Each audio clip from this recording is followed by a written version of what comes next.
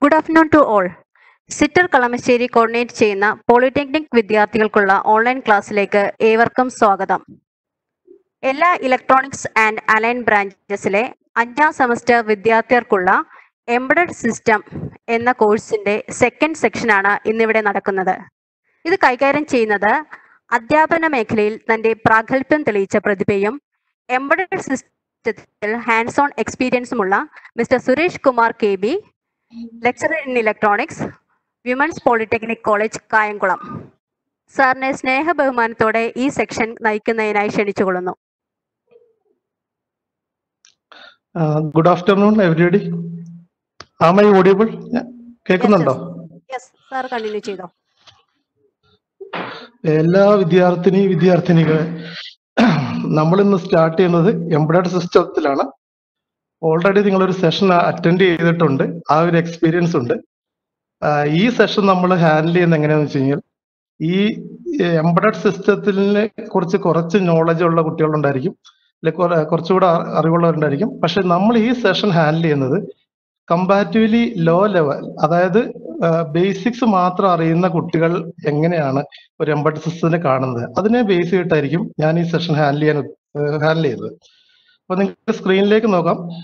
ഈ embedded system എന്നുള്ള ഈ സബ്ജക്റ്റിൽ ബേസിക്കലി നാല് മൊഡ്യൂൾസ് ഉണ്ട്. First module A V R micro കൺട്രോളറും അതിന്റെ architecture related topics second module handle ചെയ്യുന്നത് അസംബ്ലി ലാംഗ്വേജ് പ്രോഗ്രാമിങ്ങും അതുമായിട്ട് ബന്ധപ്പെട്ട കാര്യങ്ങൾ.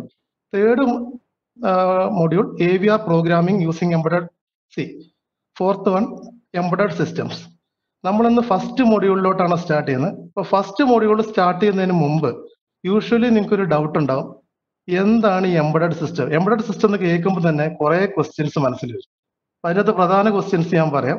What is an embedded system ഇതാണ് സ്ഥിരമായിട്ട് വരുന്ന ഒരു ക്വസ്റ്റ്യൻ സെക്കൻഡ് വൺ എന്ന് പറയുന്നത് വേർ ഇറ്റ് ഈസ് യൂസ്ഡ് ഇതൊരു ക്വസ്റ്റ്യൻ ആണ്. അതുപോലെ മറ്റൊരു ക്വസ്റ്റ്യൻ ആണ് why embedded system is better than other circuit മറ്റ് സർക്യൂട്ട് എംബഡഡ് സിസ്റ്റം തമ്മിൽ എന്തെങ്കിലും വ്യത്യാസമുണ്ടോ? എംബഡഡ് സിസ്റ്റം തന്നെ വേണോ? അല്ലെങ്കിൽ മറ്റ് സർക്യൂട്ട് ഉപയോഗിച്ചാൽ എന്താണ് കുഴപ്പം? ഇങ്ങനത്തെ കുറെ ക്വസ്റ്റ്യൻസ് വരാം.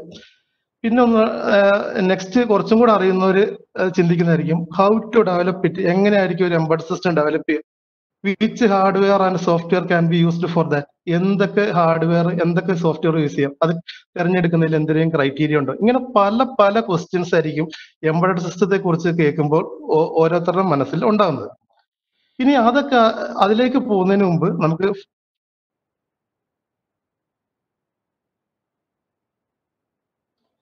അതിലേക്ക് പോകുന്നതിന് മുമ്പ് നമുക്ക് ആദ്യം ഇലക്ട്രോണിക്സിന്റെ ബേസിക്സിലേക്ക് പോകാം.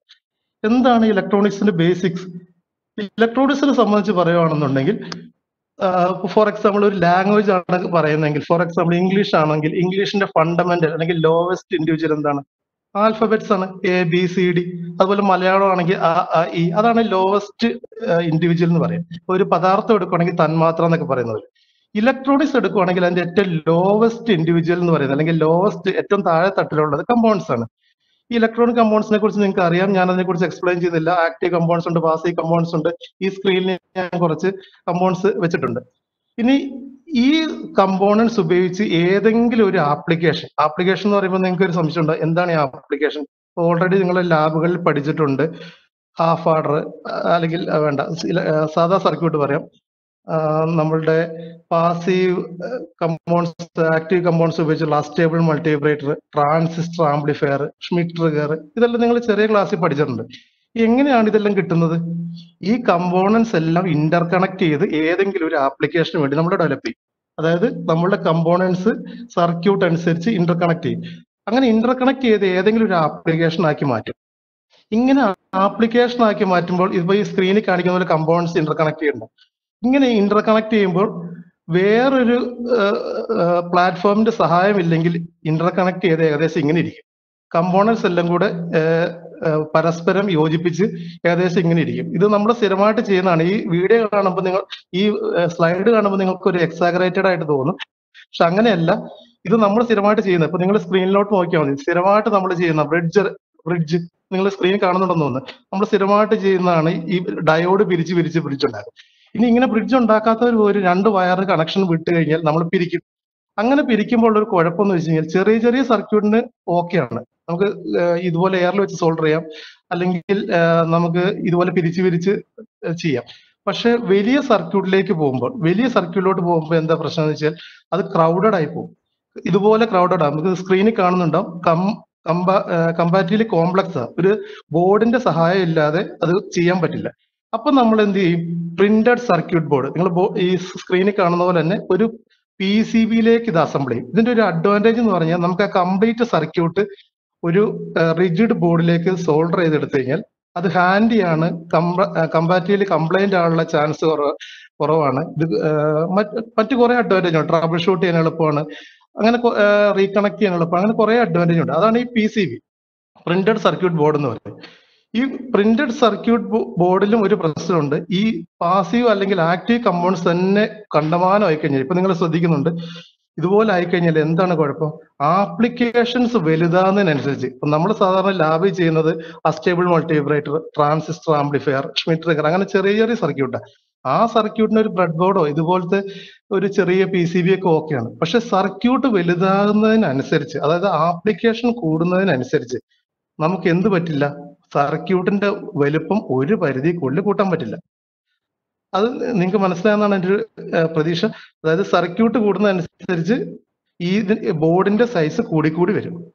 അപ്പോൾ അത് എങ്ങനെയാണ് മാനേജ് ചെയ്യുന്നത്? അങ്ങനെയാണ് ഐ സികളുടെ വരവ്.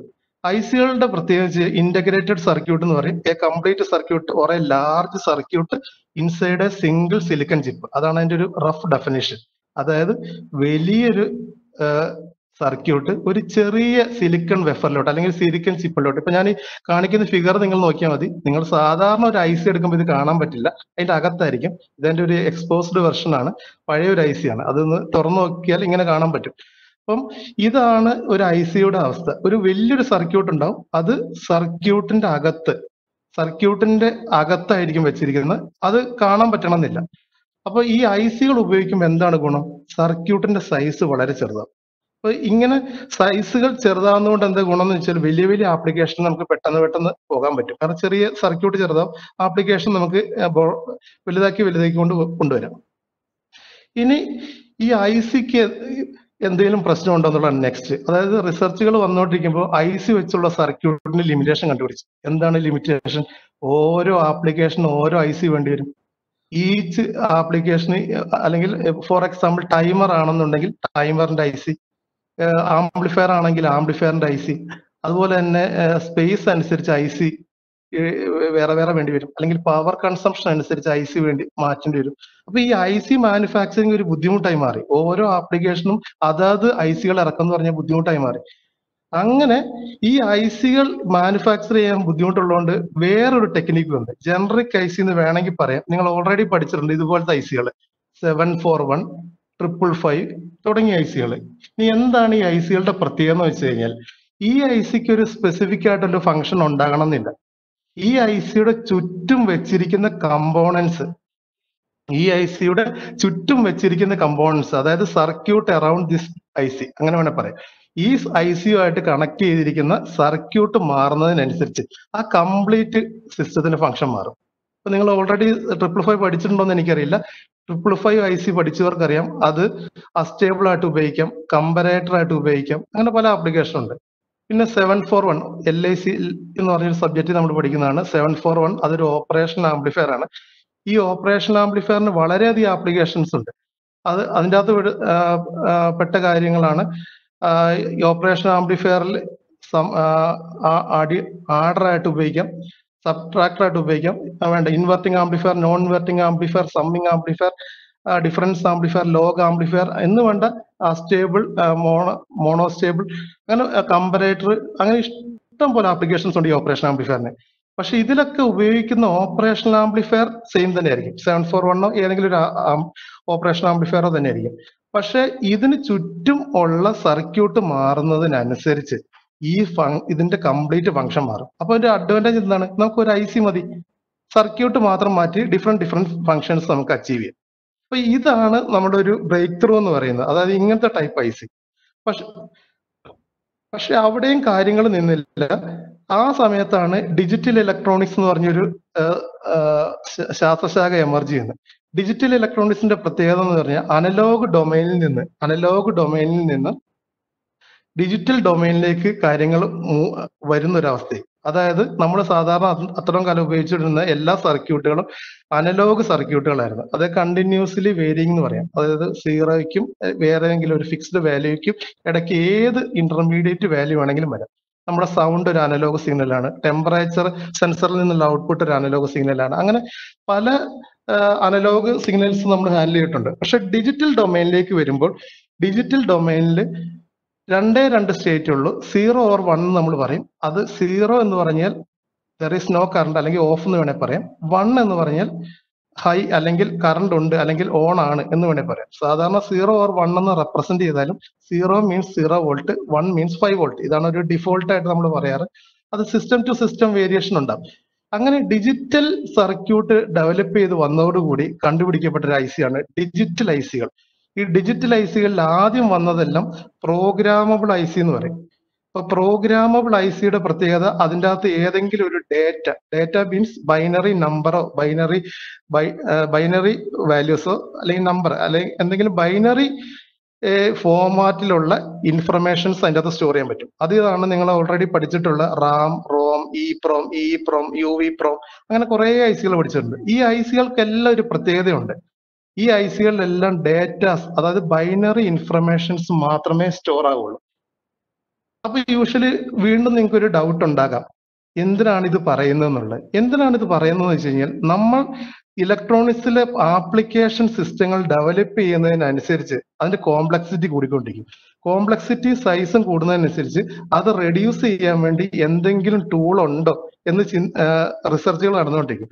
അതിന്റെ ഭാഗമായിട്ട് വന്നൊരു ശാസ്ത്രശാഖയാണ് ഡിജിറ്റൽ ഇലക്ട്രോണിക്സ് ആ ഡിജിറ്റൽ ഇലക്ട്രോണിക്സിൽ വന്ന ആദ്യ ഹാർഡ്വെയർ എന്ന് പറയുന്നത് ഡിജിറ്റൽ ഐ സികളാണ് ഈ ഡിജിറ്റൽ ഐ സികൾ വന്നതോടുകൂടി കുറച്ചൊക്കെ ഈ സർക്യൂട്ട്സിനെ സപ്പോർട്ട് ചെയ്യുന്നുണ്ട്.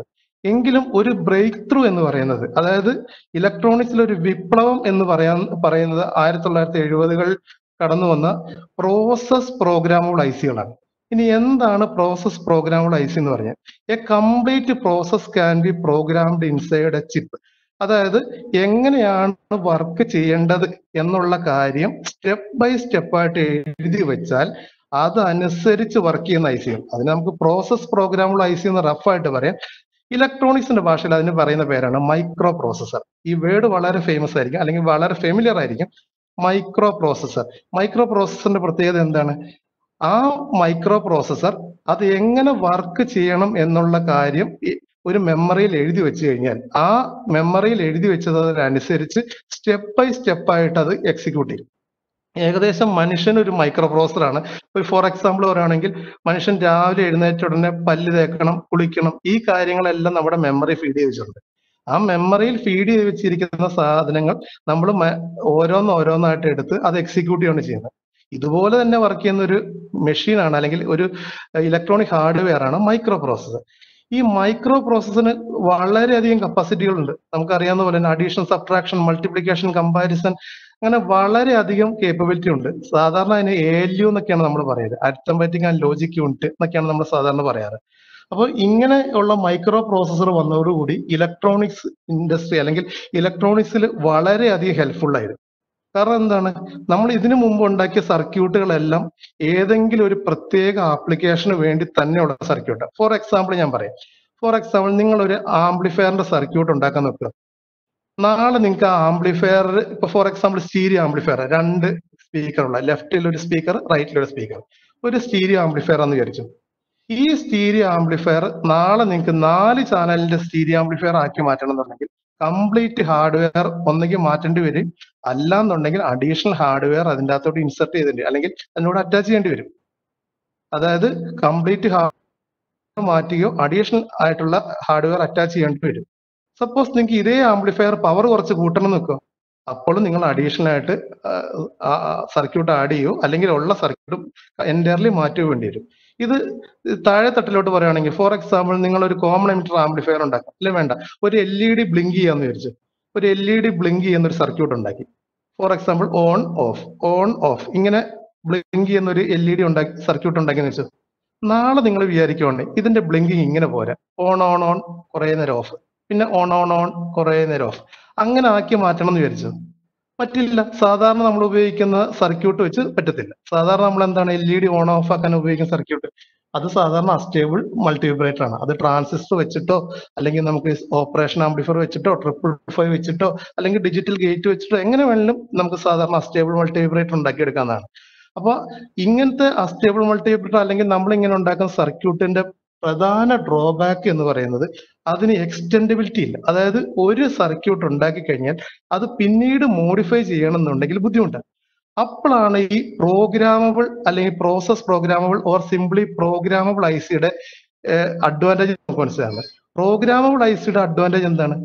ഒരിക്കൽ നിങ്ങൾ ഒരു സർക്യൂട്ട് അല്ലെങ്കിൽ ഒരു സിസ്റ്റം ഡിസൈൻ ചെയ്ത് കഴിഞ്ഞാൽ ആ സിസ്റ്റം എന്തെങ്കിലും മോഡിഫിക്കേഷൻ വരുത്തണം എന്നുണ്ടെങ്കിൽ കംപ്ലീറ്റ് സിസ്റ്റം മോഡിഫൈ ചെയ്യണം എന്നില്ല അതിന്റെ പ്രോഗ്രാം ലെവലിലൊന്ന് മാറ്റിയാൽ മതി. അതാണ് ഇതിന്റെ ഏറ്റവും വലിയ അഡ്വാന്റേജ് പക്ഷേ ഈ മൈക്രോ പ്രോസസ്സറിന് ലിമിറ്റേഷൻ ഉണ്ട് കേട്ടോ. ഇപ്പൊ ഞാൻ ഈ സ്ക്രീനിൽ കാണിച്ചിരിക്കുന്നത് ഇന്റൽ ആയിരത്തി തൊള്ളായിരത്തി എഴുപത്തി ഒന്ന് അല്ലെങ്കിൽ എഴുപതുകളിൽ ഡെവലപ്പ് ചെയ്തേക്കുന്ന മൈക്രോ പ്രോസസ്സറാണ് ഫോർ നോട്ട് നോട്ട് ഫോർ അതിനുശേഷം വന്ന ഫോർ സീറോ ഫോർ സീറോ ഇതിൽ ഇന്റലാണ് ഡെവലപ്പ് ചെയ്തിരിക്കുന്നത് ഈ മൈക്രോ പ്രോസസ്സറിന് ഒരു പ്രത്യേകത ഉണ്ട് ഇതിന് അഡീഷൻ സബ്ട്രാക്ഷൻ മൾട്ടിപ്ലിക്കേഷൻ കമ്പാരിസൺ സകല കേപ്പബിലിറ്റി ഉണ്ട്. പക്ഷേ സ്വന്തമായിട്ട് ആക്ച്വേറ്റർ ഇല്ല. അതാണ് ഇതിന്റെ മെയിൻ പ്രശ്നം. അപ്പൊ യൂഷ്വലി നിങ്ങൾക്ക് ഡൗട്ട് ഉണ്ടോ? എന്താണ് ഈ സ്വന്തം ആക്ച്വേറ്റർ ഇതായിരിക്കും നിങ്ങളുടെ ഒരു സംശയം.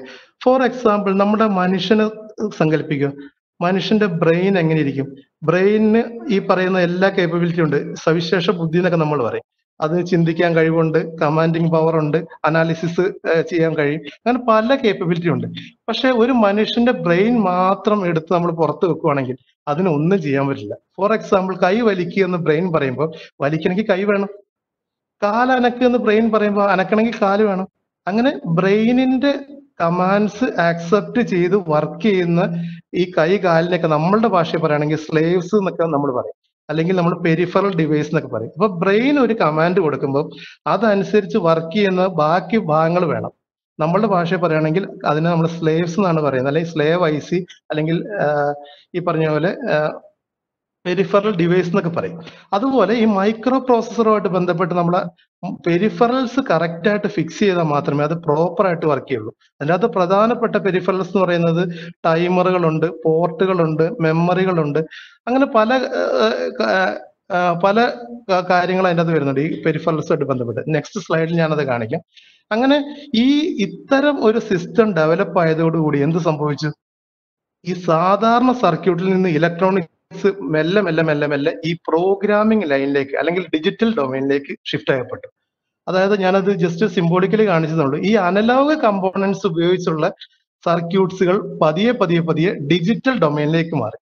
അതത് യൂസ് ചെയ്യുമ്പോൾ അതിന്റെ ഒരു ഈസിനെസ് നിങ്ങൾക്ക് മനസ്സിലാവുള്ളൂ. അതുകൊണ്ടാണ് നമ്മൾ പോളിടെക്നിക്കിലൊക്കെ പ്രോജക്ട് ചെയ്യുമ്പോൾ തൊണ്ണൂറ് ശതമാനം ഇലക്ട്രോണിക്സ് കുട്ടികളും ഒന്നെങ്കിൽ ഈ ഓർഡിനോ അല്ലാന്നുണ്ടെങ്കിൽ ഈ പ്രോഗ്രാമിംഗ് ബേസ്ഡ് സർക്യൂട്ട്സ് ചെയ്യുന്നത്. കാരണം അത് ഈസിയാണ് അത് ഇംപ്ലിമെന്റ് ചെയ്യാൻ ഈസിയാണ് ട്രബിൾ ഷൂട്ട് ചെയ്യാൻ ഈസിയാണ് റീകോൺഫിഗർ ചെയ്യാൻ ഈസിയാണ് അങ്ങനെ വളരെ ഈസി ഈസിയാണ് ഈ ഇലക്ട്രോണിക് ഡൊമൈൻ അല്ലെങ്കിൽ ഈ പ്രോഗ്രാമിംഗ് ഡൊമൈനിലുള്ള സർക്യൂട്ട്സ് അത് അതുകൊണ്ട് തന്നെ ഇൻഡസ്ട്രിയിൽ മുഴുവനായിട്ട് നോക്കുവാണെങ്കിൽ ഇലക്ട്രോണിക് സർക്യൂട്ട്സുകൾ മുഴുവൻ മൈക്രോ പ്രോസസർ ബേസ്ഡ് അല്ലെങ്കിൽ ഇതുപോലെ കമ്പ്യൂട്ടിംഗ് ഡിവൈസ് അല്ലെങ്കിൽ പ്രോഗ്രാമിംഗ് ഡിവൈസ് ബേസിലേക്ക് മാറി. പക്ഷെ ഇവിടെയും പ്രശ്നമുണ്ട്. എന്താണ് പ്രശ്നം? നമ്മൾ ഒരു മൈക്രോ പ്രോസസർ വെച്ചിട്ട് ഇപ്പൊ ഇപ്പൊ അഡ്വാൻസ് മൈക്രോ പ്രോസസറാണ് ഈ സ്ക്രീനിൽ കാണുന്നതൊക്കെ വളരെ പഴയ ഇതാണ്. അപ്പൊ നമ്മൾ ഒരു മൈക്രോ പ്രോസസർ വെച്ചിട്ട് അതിന് ചുറ്റും ടൈമർ ഐസി വെക്കണം പോർട്ട് വെക്കണം മെമ്മറി വെക്കണം പിന്നെ ഇതിന് മുഴുവൻ പവർ സപ്ലൈ എല്ലാം പ്രൊവൈഡ് ചെയ്യണമെന്നുണ്ടെങ്കിൽ അതൊരു സിസ്റ്റം പോലെ ആക്ട് ചെയ്യേണ്ടി വരും. അല്ലെങ്കിൽ ഒരു കംപ്ലീറ്റ് ഒരു വലിയ സിസ്റ്റത്തിലേക്ക് അത് പോകും. അങ്ങനെ വലിയൊരു സിസ്റ്റത്തിലേക്ക് പോയതിന്റെ ഇന്നും ഉള്ള ഒരു തെളിവാണ് നമ്മുടെ കമ്പ്യൂട്ടർ കമ്പ്യൂട്ടർ നിങ്ങൾ അഴിച്ചു കണ്ടിട്ടുണ്ടോ എന്നറിയില്ല അതിന്റെ അകത്തൊരു പ്രധാനപ്പെട്ട ഒരു മെയിൻ ബോർഡ് ഉണ്ട്. ആ ബോർഡിനെ നമ്മൾ മദർ ബോർഡ് എന്നാണ് പറയാറ്. ഈ മദർ ബോർഡ് നിങ്ങൾ കണ്ടിട്ടുള്ളവർക്കറിയാം. അതിനകത്ത് കുറെ ഐസികളുണ്ട് കുറെ കമ്പോണൻസ് ഉണ്ട്. ഇതെല്ലാം കൂടാതെ അതിന്റെ അകത്തൊരു മെയിൻ ആയിട്ട് ഒരു കമ്പോണന്റ് ഉണ്ട്. അത് അത് മദർ ബോർഡിന്റെ ഭാഗമായിരിക്കില്ല ഡിറ്റാച്ചബിൾ ആയിരിക്കും.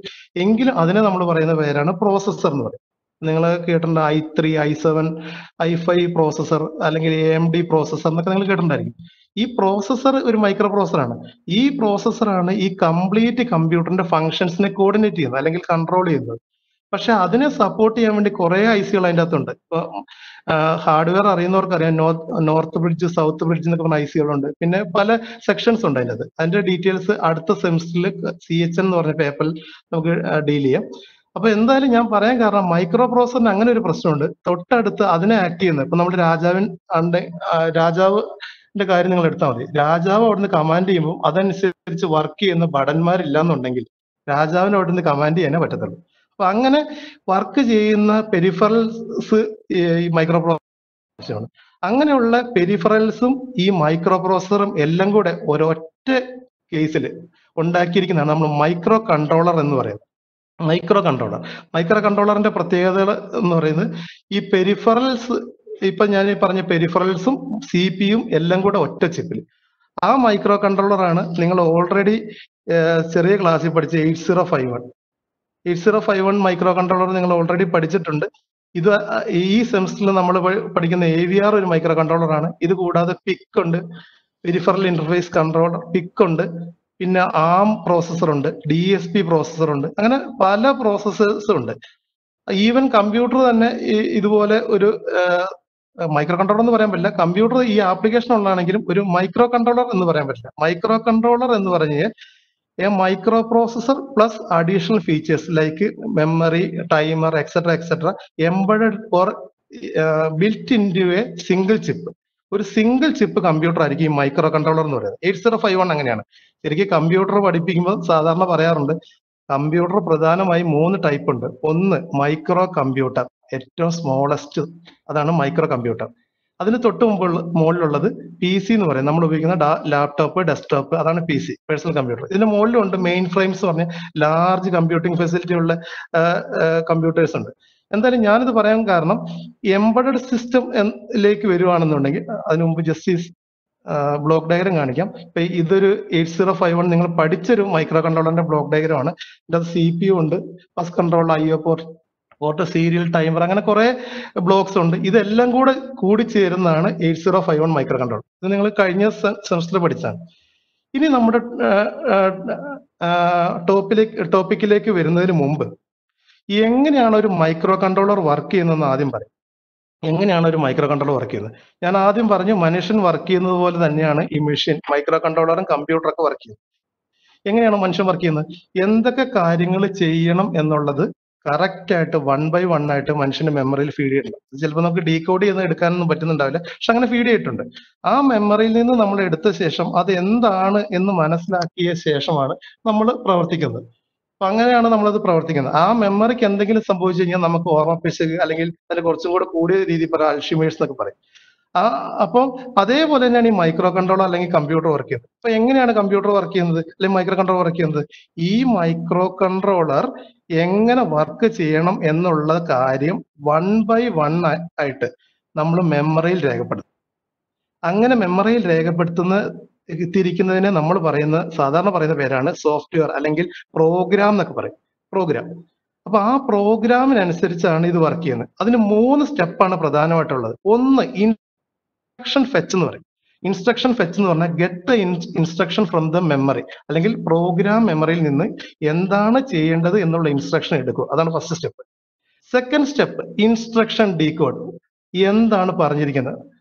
അതായത് എടുത്ത ഇൻസ്ട്രക്ഷൻ എന്താണ് ഉദ്ദേശിക്കുന്നത് എന്നുള്ള കാര്യം ഇതെല്ലാം മൈക്രോ കൺട്രോളർ അല്ലെങ്കിൽ മൈക്രോ പ്രോസസർ മനസ്സിലാക്കണേ. മൂന്നാമത്തെ സ്റ്റെപ്പ് ഇൻസ്ട്രക്ഷൻ എക്സിക്യൂട്ട് ആ പറഞ്ഞ കാര്യം ചെയ്യും.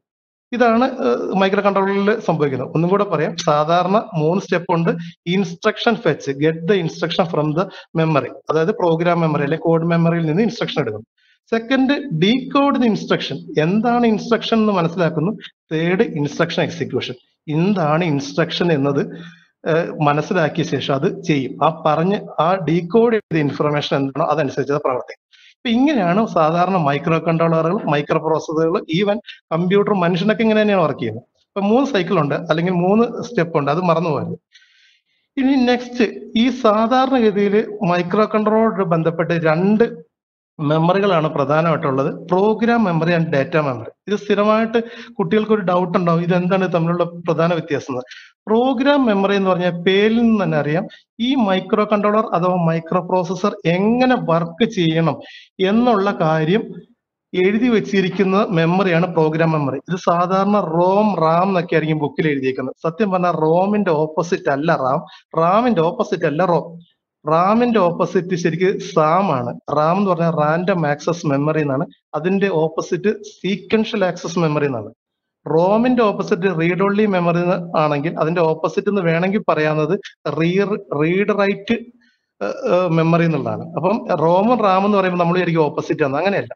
ROM means read only memory. എന്തുകൊണ്ടാണ് ആ പേര് വന്നത്? പ്രോഗ്രാം മെമ്മറിക്ക് റോം എന്ന് പേര് വരാൻ കാരണം ഈ സി യു എങ്ങനെ വർക്ക് ചെയ്യണം എന്നുള്ള ഇൻസ്ട്രക്ഷൻസ് ഈ റോമിലായിരിക്കും അല്ലെങ്കിൽ പ്രോഗ്രാം മെമ്മറിയിലായിരിക്കും എഴുതി വെച്ചിരിക്കുന്നത്. ആ പ്രോഗ്രാം മെമ്മറിയിൽ നിന്നുള്ള ഇൻസ്ട്രക്ഷൻ വൺ ബൈ വൺ ആയിട്ട് എടുക്കും. എന്നിട്ടാണ് ഈ സി പി എക്സിക്യൂട്ട് ചെയ്യുന്നത്. അപ്പൊ അടുത്തൊരു ക്വസ്റ്റ്യൻ ഉണ്ടാവും. എന്താണ് ഡേറ്റ മെമ്മറി ഡേറ്റ മെമ്മറി എന്ന് പറഞ്ഞു കഴിഞ്ഞാൽ ടെമ്പററി മെമ്മറീസ് ആണ്. ടെമ്പററി മെമ്മറീസ് എന്ന് പറഞ്ഞാൽ ഏതെങ്കിലും ഡേറ്റ താൽക്കാലികമായിട്ട് നിങ്ങൾക്ക് വെക്കണമെങ്കിൽ അവിടെ വെക്കാം. ആ മെമ്മറിക്ക് ഒരു പ്രത്യേകതയുണ്ട്. ബുക്ക് വായിക്കുമ്പോൾ സ്ഥിരമായിട്ട് നമ്മൾ വായിക്കുന്നതാണ്. Data memories are volatile in nature volatile എന്ന് പറഞ്ഞു കഴിഞ്ഞാൽ ആവിയാവുന്നത് അല്ലെങ്കിൽ ബാഷ്പീകരിക്കുന്നത് എന്നൊക്കെയാണ് മലയാളം അർത്ഥം. ഇനി ഇതിനകത്ത് എന്താണ് ആവിയാകാനുള്ളത്? നമുക്ക് നോക്കാം.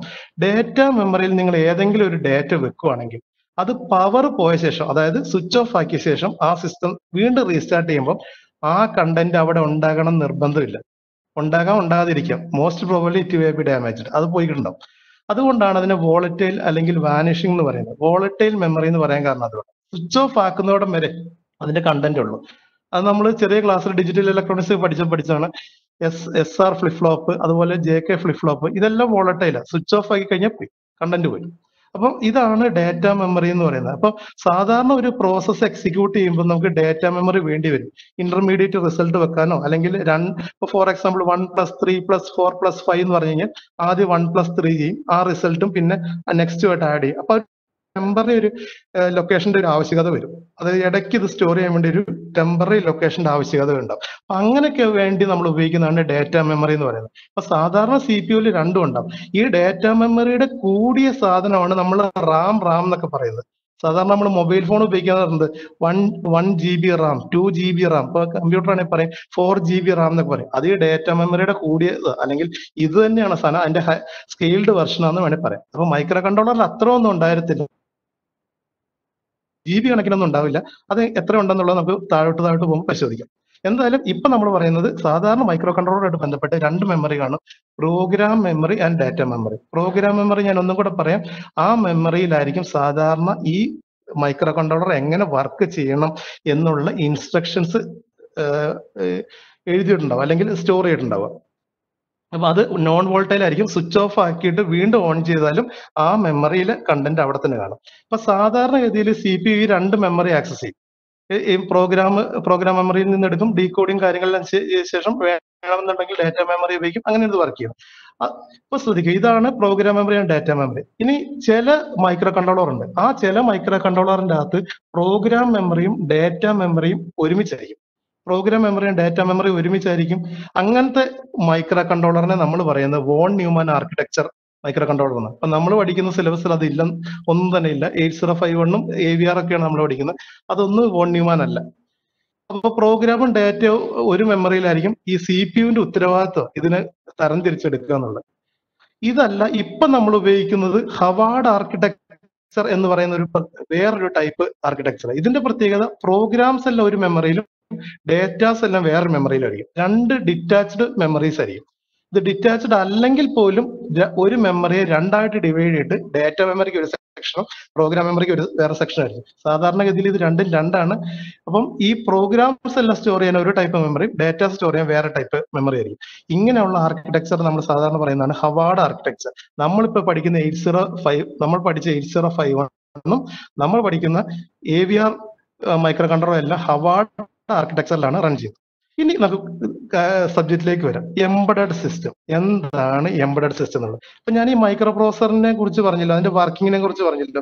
ഈ മൈക്രോ പ്രോസസർ അല്ലെങ്കിൽ മൈക്രോ കൺട്രോളർ എല്ലാം വെച്ച ശേഷം നമുക്കൊരു സിസ്റ്റം ഡിസൈൻ ചെയ്ത് കഴിഞ്ഞാൽ എന്താ അതിന്റെ ഗുണം എന്ന് വെച്ച് കഴിഞ്ഞാൽ എന്തെങ്കിലും ചെറിയ മാറ്റങ്ങളൊക്കെ വരുത്തണം എന്നുണ്ടെങ്കിൽ അതിന്റെ പ്രോഗ്രാം മാറ്റിയാൽ മതി. അപ്പൊ എംബഡഡ് സിസ്റ്റത്തിന്റെ ഒരു ബേസ് എന്ന് പറഞ്ഞാൽ software and hardware in a single unit അതായത് ഒരു സോഫ്റ്റ്വെയർ ഹാർഡ്വെയർ ഒരു സിംഗിൾ യൂണിറ്റിലായിരിക്കും എന്താന്നുള്ളത് പുറകെ പറയാം. Designed and implemented for dedicated unique application അതാണ് ഇതിന്റെ വേറെ പ്രത്യേകത. ഏതെങ്കിലും ഒരു സ്പെഷ്യൽ ആപ്ലിക്കേഷന് വേണ്ടി ഉണ്ടാ ഉണ്ടാക്കിയെടുക്കുന്ന അല്ലെങ്കിൽ രൂപീകരിക്കുന്ന ബോർഡുകൾ അല്ലെങ്കിൽ സിസ്റ്റമാണ് നമ്മൾ എംബ്രോയ്ഡ് സിസ്റ്റം എന്ന് പറയുന്നത്. അപ്പൊ യൂഷ്വലി നിങ്ങൾക്ക് ഒരു ഡൗട്ട് ഉണ്ടാവും എന്താണ് ഈ സ്പെഷ്യൽ ആപ്ലിക്കേഷൻ എന്നുള്ളത്? അല്ലെങ്കിൽ ഏതെങ്കിലും ഡെഡിക്കേറ്റഡ് ആപ്ലിക്കേഷൻ എന്നുള്ളത്. അത് ഞാൻ നെക്സ്റ്റ് സ്ലൈഡിലായിട്ട് പറയാം. അത് പറയുന്നതിന് മുമ്പ് ജസ്റ്റ് നാല് പോയിന്റ്സും കൂടെ നമുക്ക് കവർ ചെയ്യാം. A micro processor or a micro processor with some peripheral chips having firmware and software ഒരു മൈക്രോ പ്രോസറോ അല്ലെങ്കിൽ ഏതെങ്കിലും ഒരു സി പി ഒ അതിന്റെ central computing ആയിട്ടുണ്ടായിരിക്കും. Computing device is embedded or built in non computing device ഈ നാലാമത്തെയാണ് എന്റെ പ്രധാനപ്പെട്ട point a programmable or computing device embedded a programmable or computing device which is incorporated or embedded to a non programmable hardware. To achieve a specific task ഇതാണ് embedded സിസ്റ്റത്തിന്റെ rough definition അതായത് ഏതെങ്കിലും ഒരു non programmable platform അതായത് ഈ micro processor അല്ലാതെ resistor capacitor അല്ലെങ്കിൽ മറ്റ് ഐ സികൾ പെരിഫൽ ഐ സികൾ എല്ലാം ഉള്ള ഒരു ബോർഡിലേക്ക് ഒരു പ്രധാനമായിട്ട് ഒരു മൈക്രോ കൺട്രോളർ അല്ലെങ്കിൽ ഏതെങ്കിലും ഒരു പ്രോഗ്രാമിംഗ് ഐ സി വെക്കും. അതിനുശേഷം ഈ ഐ സി അതുമായിട്ട് ഇന്റർലിങ്ക് ചെയ്ത ശേഷം ഏതെങ്കിലും ഒരു സ്പെസിഫിക് ആപ്ലിക്കേഷന് വേണ്ടി നമ്മൾ ഉപകാരപ്പെടുത്തും. അങ്ങനത്തെ സിസ്റ്റത്തിനാണ് നമ്മൾ എംബഡഡ് സിസ്റ്റം എന്ന് പറയുന്നത്. ഇത് പറയുമ്പോൾ നിങ്ങൾക്കൊരു വേഗ ഐഡിയ അതിനെക്കുറിച്ച് വരാൻ സാധ്യതയുള്ളൂ. ഞാനൊരു എക്സാമ്പിൾ പറയാം. For example washing machine fully automatic washing machine ഇതൊരു എംബഡഡ് സിസ്റ്റമാണ് അതെങ്ങനെയാണ്? For for example fully automatic washing machine എങ്ങനെയാണ്? പൈപ്പ് കണക്ട് ചെയ്ത് ഇപ്പൊ വെള്ളം ഓൺ ചെയ്ത ശേഷം തുണി അതിന്റെ അകത്തോട്ട് ഇട്ട് ഡോർ അടച്ച് ഓൺ ചെയ്ത് കഴിഞ്ഞാൽ അത് ആദ്യം വെള്ളം അത് ടാപ്പിൽ നിന്ന് എടുക്കും. അപ്പൊ വെള്ളം ഉണ്ടോ എന്ന് നോക്കും. വെള്ളം ഉണ്ടോ എന്ന് നോക്കിയിട്ട് വെള്ളം ഉണ്ടെങ്കിൽ അത് ഒരു വാൽവ് ഉണ്ട്. അത് അഴിച്ച് കണ്ടാലേ പറയാൻ പറ്റുള്ളൂ. ആ വാൽവിൽ കൂടെ വെള്ളം അകത്ത് കയറി ഒരു നിശ്ചിത ലെവൽ എത്തുമ്പോൾ ആ വെള്ളം സ്റ്റോപ്പ് ചെയ്യും. അതോ അപ്പൊ ആദ്യം നോക്കുന്നത് വെള്ളം ഉണ്ടോ എന്ന് നോക്കും. വെള്ളം ഇല്ലെങ്കിൽ അത് അപ്പൊ തന്നെ പ്രോസസ്സ് നിർത്തും വെള്ളം വരാൻ വേണ്ടി വെയിറ്റ് ചെയ്യും. വെള്ളം ഉണ്ടെങ്കിൽ അത് നിശ്ചിത ലെവൽ വരെ വെള്ളം നിറയ്ക്കും. അതിനുശേഷം എന്ത് ചെയ്യും? ഈ ഈ ഇതിന്റെ റൊട്ടേഷൻ കാര്യങ്ങൾ ആരംഭിക്കും. ഓരോ മെഷീൻ ഓരോ പോലെയാണ്. ഞാൻ റഫായിട്ട് അങ്ങ് പറയാം. റൊട്ടേഷൻ ആരംഭിക്കും. നമ്മൾ എത്ര നേരമാണ് സെറ്റ് ചെയ്തേക്കുന്നത്? ആ സമയം എത്തിയെന്ന് നോക്കും. ആ സമയം എത്തി കഴിയുമ്പോൾ ഇത് ഓഫാക്കും അതിനുശേഷം ഡോറിന്റെ ലോക്ക് അൺലോക്ക് ചെയ്യും. അങ്ങനെ കുറെ പ്രൊസീജിയർ ഉണ്ട്. അപ്പൊ സ്റ്റെപ്പ് ബൈ സ്റ്റെപ്പ് ആയിട്ടുള്ള പ്രൊസീജിയർ അപ്പൊ ഇതിനു വേണ്ടി ഇതിന്റെ അകത്തൊരു മൈക്രോ പ്രോസർ അല്ലെങ്കിൽ മൈക്രോ കൺട്രോളർ കാണും. ആ കൺട്രോളറാണ് ഈ മോട്ടോർ ഓൺ ആക്കുന്നതും വെള്ളത്തിന്റെ വാൽവ് ഓൺ ആക്കുന്നതും ഈ ഡോർ അൺലാച്ച് ചെയ്യുന്നതും എല്ലാം ഈ മൈക്രോ കൺട്രോളർ ആയിരിക്കും സെൻട്രൽ കമ്പ്യൂട്ടിംഗ് ഫെസിലിറ്റി അപ്പൊ ഈ ഇങ്ങനെ central computing facility plus additional board ഇപ്പൊ നമ്മൾ ഇതിന്റെ അകത്ത് എനിക്ക് കാണിക്കാൻ ബുദ്ധിമുട്ടുണ്ട് ഈ ബോർഡുകളും കാര്യങ്ങളെല്ലാം. എങ്കിലും വേറെ സെഷൻ വരുമ്പോൾ ഞാൻ കറക്റ്റ് ആയിട്ട് ഇതെല്ലാം ലൈവ് ആയിട്ട് കാണിക്കാം. ഇതിന്റെ ബോർഡൊക്കെ എങ്ങനെ ഇരിക്കും ഏതൊക്കെയാണ് പ്രോസർ എന്നുള്ളത്. എന്തായാലും ഈ സെഷൻ കുറച്ചും കൂടെ ഫാസ്റ്റ് ആയിട്ട് പോകേണ്ടതുള്ളതുകൊണ്ട് നമുക്ക് അത് അതിലേക്ക് ഞാൻ അധികം കിടക്കുന്നില്ല അപ്പൊ യൂഷ്വലി ഒരു ഡൗട്ട് നിൽക്കുന്നുണ്ടാവും കമ്പ്യൂട്ടർ ഇവിടെ ഉണ്ടല്ലോ. എന്തിനാണ് ഈ ഡെഡിക്കേറ്റഡ് പ്ലാറ്റ്ഫോം എന്നുള്ളത്? അവിടെയാണ് ഈ എംബഡഡ് സിസ്റ്റത്തിന്റെ ഒരു സിഗ്നിഫിക്കൻസ് വരുന്നത്. കമ്പ്യൂട്ടർ എന്ന് പറയുന്ന ഒരു ജനറൽ കമ്പ്യൂട്ടർ എന്ന് പറയുന്നത് ഒരു general general purpose computing device for example ഇപ്പൊ നമ്മൾ സാധാരണ ഇപ്പൊ കമ്പ്യൂട്ടർ ഉപയോഗിക്കാറുണ്ട് എംബഡഡ് സിസ്റ്റത്തിന് പകരം കമ്പ്യൂട്ടർ ഉപയോഗിക്കുന്ന പല മേഖലകളുണ്ട് ഇപ്പൊ നിങ്ങൾ കടകളിൽ പോവുകയാണെങ്കിൽ അവിടെ ബില്ലിങ്ങിന് വേണ്ടി കമ്പ്യൂട്ടർ ഉപയോഗിക്കും. ഇപ്പൊ ടയർ അലൈൻമെന്റ് വീൽ അലൈൻമെന്റ് പോയി കഴിഞ്ഞാൽ അവിടെ കമ്പ്യൂട്ടർ ഉപയോഗിക്കും. മെഡിക്കലിന്റെ ഒക്കെ ലാബുകളിൽ പോയി അവിടെ കമ്പ്യൂട്ടർ ഉപയോഗിക്കുന്നുണ്ട്. ഇവിടെ എല്ലാം കമ്പ്യൂട്ടറുകൾ ഉപയോഗിക്കുന്നുണ്ട്. പക്ഷേ ഈ കമ്പ്യൂട്ടർ ഉപയോഗിക്കുന്നുണ്ട് കുറെ പ്രശ്നങ്ങളുണ്ട്. ഒന്നാമത്തെ പ്രശ്നം കമ്പ്യൂട്ടർ വലിയ സൈസ് ആയിരിക്കും. നമ്മുടെ ആപ്ലിക്കേഷൻ ഈ കമ്പ്യൂട്ടറിന്റെ സൈസുമായിട്ട് കോമ്പാഷബിൾ ആണ് വലിയ കുഴപ്പമില്ല. ഫോർ എക്സാമ്പിൾ നിങ്ങൾ ബസ്സിലെ കണ്ടക്ടർ ആ മെഷീന് വേണ്ടി കമ്പ്യൂട്ടർ ഉപയോഗിച്ചാൽ എങ്ങനെ ഇരിക്കും? നിങ്ങൾ ആലോചിക്കുക അതെങ്ങനെ കൊണ്ടു നടക്കും? അപ്പൊ സൈസ് ഒരു പ്രശ്നമാണ്. പിന്നെ സെക്കൻഡ് വൺ പവർ ഇഷ്യൂസ് മൂന്നാമത്തെ പ്രശ്നം എന്ന് പറയുന്നത് ഇതിന്റെ റിലയബിലിറ്റി ഇഷ്യൂ ചില കേസിൽ ഇത് ഫെയിൽ ആകാനേ പാടില്ല. അങ്ങനത്തെ കേസൊക്കെ ഉണ്ട്. അങ്ങനെ ഇപ്പൊ ഫോർ എക്സാമ്പിൾ ലിഫ്റ്റിന്റെ കേസ് ലിഫ്റ്റിലൊക്കെ ഇതുപോലെ കമ്പ്യൂട്ടർ ഉപയോഗിച്ച് കമ്പ്യൂട്ടർ ഹാങ് ആയാൽ ലിഫ്റ്റ് അവിടെ കിടക്കും. അപ്പൊ അതുപോലെ ചില സ്പെസിഫിക് ആപ്ലിക്കേഷൻ ഉണ്ട്. റിലയബിലിറ്റി വളരെ ഇമ്പോർട്ടന്റ് ആണ്. അങ്ങനത്തെ സ്ഥലങ്ങളിൽ. പിന്നെ ചില സ്ഥലങ്ങളിൽ ഇത് ഇത് സ്ലോ ആകാൻ പാടില്ലാത്ത ആപ്ലിക്കേഷൻസ് ഉണ്ട്. അതായത് നമ്മൾ കറക്റ്റ് സ്പീഡിൽ തന്നെ ഇത് ഓടിക്കൊണ്ട് പോകണം. അപ്പൊ അങ്ങനത്തെ കേസിൽ ഇപ്പൊ ഇതൊക്കെ ആണെങ്കിലും ചില സ്ഥലത്ത് ഇപ്പോഴും കമ്പ്യൂട്ടറൊക്കെ ഉപയോഗിക്കുന്നുണ്ട്. പക്ഷെ കൂടുതൽ സ്ഥലത്ത് നമ്മൾ എംബഡഡ് സോഫ്റ്റ്വെയറും ഹാർഡ്വെയറും ആണ് ഉപയോഗിക്കുന്നത്. അപ്പോൾ എംബഡഡ് സോഫ്റ്റ്വെയർ ഹാർഡ്വെയറിന്റെ ഒരു സിഗ്നിഫിക്കൻസ് നിങ്ങൾക്ക് മനസ്സിലായെന്നാണ് എനിക്ക് തോന്നുന്നത്. ഹലോ കേൾക്കാമോ ആ ഓക്കെ ഓക്കെ ഓക്കെ ആണ് ഓക്കെ ആണ് ഒരു കുഴപ്പമില്ല. സർ ഒരു ഹാഫ് ആൻ അവർ നമ്മൾക്ക് കഴിഞ്ഞിട്ടുണ്ട്. ജസ്റ്റ് റിമൈൻഡ് ചെയ്തേ ഉള്ളൂ. സർ കണ്ടിന്യൂ ചെയ്തോ? അപ്പം ഏകദേശം നിങ്ങൾക്ക് ഒരു എംബഡഡ് സിസ്റ്റത്തിനെ കുറിച്ച് ഒരു ഓവറോൾ ഐഡിയ കിട്ടിയെന്ന് തോന്നുന്നു. ഞാൻ ഈ എംബഡഡ് സിസ്റ്റം എന്ന് പറഞ്ഞ ടോപ്പിക് കൂടെ കഴിഞ്ഞ ശേഷം ഞാനിത് സ്റ്റോപ്പ് ചെയ്യാം. അതിനുശേഷം നിങ്ങൾക്ക് എന്തെങ്കിലും ചോദ്യങ്ങൾ ചോദിക്കാം. അപ്പൊ സാധാരണ അപ്പൊ ഒരു എംബഡ് സിസ്റ്റത്തിന്റെ റഫ് ഐഡിയ നിങ്ങൾക്ക് കിട്ടിക്കാണും ഒരു ഏതെങ്കിലും ഒരു മൈക്രോ കൺട്രോളർ അല്ലെങ്കിൽ ഒരു മൈക്രോ പ്രോസസറോ ബേസ്ഡ് സിസ്റ്റം ആയിരിക്കും. ആ സിസ്റ്റത്തിൽ ഒരു നോൺ കമ്പ്യൂട്ടിംഗ് ഡിവൈസുകൾ ഇൻകോർപ്പറേറ്റ് ചെയ്യണം അത് ഏതെങ്കിലും ഒരു സ്പെസിഫിക് ഫംഗ്ഷൻ വേണ്ടി ഉപയോഗിക്കും. അതിന്റെ അത് ഉദാഹരണം പറയുകയാണെങ്കിൽ നമ്മുടെ ഇപ്പോഴത്തെ smart phone T വികൾ A T M machines billing machines cellphones digital camera അങ്ങനെ ഇഷ്ടം പോലെ ആപ്ലിക്കേഷൻസ് നമ്മൾ ഉപയോഗിക്കുന്ന തൊണ്ണൂറ്റൊമ്പത് ശതമാനം എംബഡഡ് ആപ്ലിക്കേഷൻ അത് അതിന്റെ എല്ലാം ബേസിക്കലി ഒരു മൈക്രോ കൺട്രോളോ മൈക്രോ പ്രോസറോ കാണും നമുക്കത് തുറന്നാൽ ചിലപ്പോൾ ഏതാണെന്ന് ഐഡന്റിഫൈ ചെയ്യാൻ പറ്റാത്തതുകൊണ്ടായിരിക്കും. എന്തായാലും അതിന്റെ ഒരു ജനറൽ സ്ട്രക്ചറും കൂടെ പറയാം. ഇതാണ് ഒരു ജനറൽ സ്ട്രക്ചർ അതിന്റെ ഒരു ബേസ് ഹാർഡ്വെയർ കാണും. ആ ഹാർഡ്വെയറിന്റെ മുകളിൽ മൗണ്ട് ചെയ്തേക്കുന്ന ഒരു സോഫ്റ്റ്വെയർ ആണ്. ചിലപ്പോൾ ഒരു സോഫ്റ്റ്വെയർ മാത്രമായിരിക്കും അല്ലെങ്കിൽ ഫേംവെയർ മാത്രമായിരിക്കും. ചില കുറച്ചും കൂടെ അഡ്വാൻസ് സിസ്റ്റങ്ങളിൽ ഒരു ഓപ്പറേറ്റിംഗ് സിസ്റ്റം കൂടെ കാണും. ഒരു എംബഡഡ് ഓപ്പറേറ്റിംഗ് സിസ്റ്റം കൂടെ കാണും. ഓപ്പറേറ്റിംഗ് സിസ്റ്റം എന്ന് പറയുമ്പോൾ നമുക്ക് പെട്ടെന്ന് മനസ്സിൽ വരുന്നത് വിൻഡോസ് ലിനക്സ് അല്ലെങ്കിൽ സോളാരിസ് അങ്ങനത്തെ പ്ലാറ്റ്ഫോം ആയിരിക്കും. ഇതുപോലെ എംബഡഡ് സിസ്റ്റത്തിനും ഓപ്പറേറ്റിംഗ് സിസ്റ്റങ്ങളുണ്ട് കുറച്ചും കൂടെ അഡ്വാൻസ്ഡ് എംബഡഡ് സിസ്റ്റത്തിൽ ഇങ്ങനെ ഓപ്പറേറ്റിംഗ് സിസ്റ്റം കാണും. നമ്മുടെ ലോവർ എൻഡിൽ ചിലപ്പം ഓപ്പറേറ്റിംഗ് സിസ്റ്റം ഒന്നും ഉണ്ടാകത്തില്ല. ഒരു സോഫ്റ്റ്വെയർ നേരിട്ട് ആ ഹാർഡ്വെയറിനെ ഡ്രൈവ് ചെയ്യായിരിക്കും. എങ്കിൽ ഇതൊരു ജനറലൈസ്ഡ് ഫിഗർ ഏകദേശം ഇങ്ങനെ ഇരിക്കും. പിന്നെ ഇതാണ് അതിന്റെ ഒരു റഫ് ബ്ലോക്ക് ഡയഗ്രാം ഇത് കറക്റ്റ് ആണെന്ന് പറയാൻ പറ്റില്ല. എങ്കിലും പറയണം ഒരു സെൻട്രൽ കമ്പ്യൂട്ടിംഗ് ഡിവൈസ് കാണും. അപ്പൊ ഈ ഡിവൈസിലോട്ട് നമ്മൾ സെൻസർ വഴിയൊക്കെ പല ഡേറ്റാസും എടുക്കുന്നുണ്ടാവും. അത് എ ഡി സി വഴി പ്രോസസ് ചെയ്ത് സി പി യിലേക്ക് എത്തും അതിനെ തിരിച്ച് ഇപ്പൊ for example temperature sensor mic അങ്ങനെ പല സെൻസേഴ്സിൽ നിന്നുള്ള ഡീറ്റെയിൽസ് നമ്മൾ സെൻസറുകൾ വഴി എടുത്തിട്ട് ഈ സെൻട്രൽ കമ്പ്യൂട്ടിംഗ് ഡിവൈസ് തൊണ്ണൂറ് ശതമാനം ഡിജിറ്റൽ എക്യുപ്മെന്റ് ആയതുകൊണ്ട് ഒരു എ ഡി സി വേണ്ടി വരും. എല്ലാത്തിലും വേണമെന്ന് പറയുന്നില്ല. അപ്പൊ നമ്മൾ ഈ പഠിക്കുന്ന എ വി ആറിലൊന്നും എ ഡി സി സെപ്പറേറ്റ് വേണ്ട. പക്ഷെ എയ്റ്റ് സീറോ ഫൈവ് വണ്ണിലൊക്കെ എ ഡി സി ഇല്ല. അകത്ത് ഇൻബിൽറ്റ് ഇല്ല. അപ്പൊ നമ്മൾ extra A D C A D C എന്ന് പറഞ്ഞാൽ നിങ്ങൾക്ക് അറിയാമെന്ന് പ്രതീക്ഷിക്കുന്ന അനലോഗ് ടു ഡിജിറ്റൽ കൺവെർട്ടർ എന്നുള്ളതാണ്. അനലോഗ് വാല്യൂസിനെ അത് ഡിജിറ്റൽ ഫോർമാറ്റിലേക്ക് കൺവെർട്ട് ചെയ്യും. അതിന്റെ നേരെ ഓപ്പോസിറ്റ് ആണ് ഡി എസ് സി അപ്പൊ ഡി എസ് സി ചിലപ്പോൾ വേണ്ടി മോട്ടോ ഡ്രൈവ് ചെയ്യാൻ അല്ലെങ്കിൽ മൈക്രോഫോൺ സോറി സ്പീക്കർ ഔട്ട് ഒക്കെ അല്ലെങ്കിൽ സ്പീക്കറിലേക്ക് സൗണ്ട് കൊടുക്കണമെങ്കിൽ ഡിജിറ്റൽ ഫോർമാറ്റിൽ കൊടുക്കാൻ പറ്റില്ല. അതിനെ ഡിജിറ്റൽ അൺലോഗ് ആക്കി മാറ്റേണ്ടി വരും. ഒരു ആക്ച്വേറ്റർ കാണും അല്ലെങ്കിൽ അതിന്റെ ഡ്രൈവർ കാണും. ഇതാണ് ഇതിന്റെ ഒരു ഇൻപുട്ട് ഔട്ട്പുട്ട് ലൈൻ ഇത് കൂടാതെ നമുക്ക് ഡെഡിക്കേറ്റഡ് പോർട്സുകൾ കാണാം. സീരിയൽ പോർട്ട് പാരൽ പോർട്ട് അതുപോലെ യു എസ് ബി എന്നൊക്കെ പറഞ്ഞ സാധനം. പിന്നെ ഇതൊക്കെ ഇതിന്റെ പ്രോഗ്രാം ഒക്കെ സ്റ്റോർ ചെയ്യാനും ടെമ്പററി വെക്കാനും മെമ്മറീസ് അത് പല ടൈപ്പ് മെമ്മറികൾ ഉണ്ടാകാം ഉണ്ടാതിരിക്കാം F P G field programming gate array അല്ലെങ്കിൽ സാധാരണ മെമ്മറി റാം റോം പിന്നെ ഒരു സോഫ്റ്റ്വെയർ അതൊരു ഒരു സാധനം അല്ലാത്തതുകൊണ്ടാണ് ഈ ഡോട്ടഡ് ലൈനിൽ കാണിക്കുന്നത്. സോഫ്റ്റ്വെയർ എന്ന് പറഞ്ഞാൽ അതിനെ ഡ്രൈവ് ചെയ്യാൻ ഉപയോഗിക്കുന്ന ഒരു പ്രോഗ്രാം എന്ന് ഉദ്ദേശിക്കുന്നത്. പിന്നെ ഹ്യൂമൻ ഇന്റർഫേസുകൾ കാണും. സ്വിച്ച് കാണും. പിന്നെ മോണിറ്ററുകൾ കാണും. ഡിസ്പ്ലേകൾ അതുപോലെ എൽ ഇ ഡി ഇൻഡിക്കേറ്റേഴ്സ് കാണും. അങ്ങനെ പല സാധനങ്ങൾ കാണും. ഇതെല്ലാം കൂടാതെ ഇത് നിർബന്ധമായിട്ട് ഇപ്പൊ ഇന്നലെ ഐജു സാറിന്റെ ക്ലാസ് കേട്ടവർക്കറിയാം നിർബന്ധമായിട്ട് നമുക്ക് വേണ്ട സാധനമാണ് electro mechanical backup and safety safety ഒരു വളരെ ഇമ്പോർട്ടന്റ്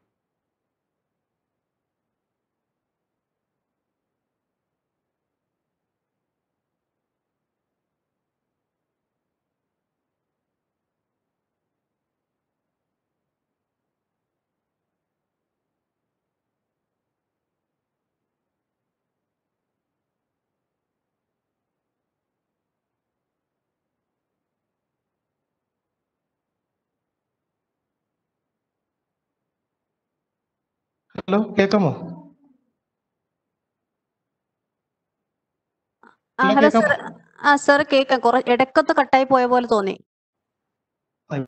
ആ ഓ കുഴപ്പമില്ല. അപ്പൊ കുഴപ്പമില്ല ആ ഓക്കെ ഓക്കെ ഓക്കെ. അപ്പം ആ, ഒന്നും ഇടയ്ക്ക് എന്തോ സൗണ്ട് ഡിസ്റ്റർബൻസ് വന്നിട്ടുണ്ട്. കുഴപ്പമില്ല.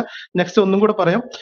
ഇതാണ് നമ്മുടെ ഒരു ജനറലൈസ്ഡ് ബ്ലോക്ക് ഡയറി ഇത് വലിയ ഇമ്പോർട്ടന്റ് ആയിട്ട് പഠിക്കണമെന്നില്ല. ഞാൻ ജസ്റ്റ് ഒന്ന് നിങ്ങൾ കാണിക്കുന്നതേ ഉള്ളൂ.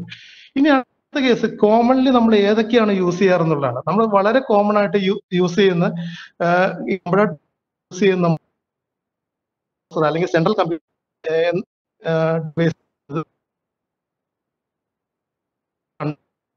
പിക്ക് ആകാം. പിക്ക് എന്ന് പറഞ്ഞാൽ പെരിഫറൽ ഇന്റർ നമ്മുടെ സിലബസിൽ ഇല്ല.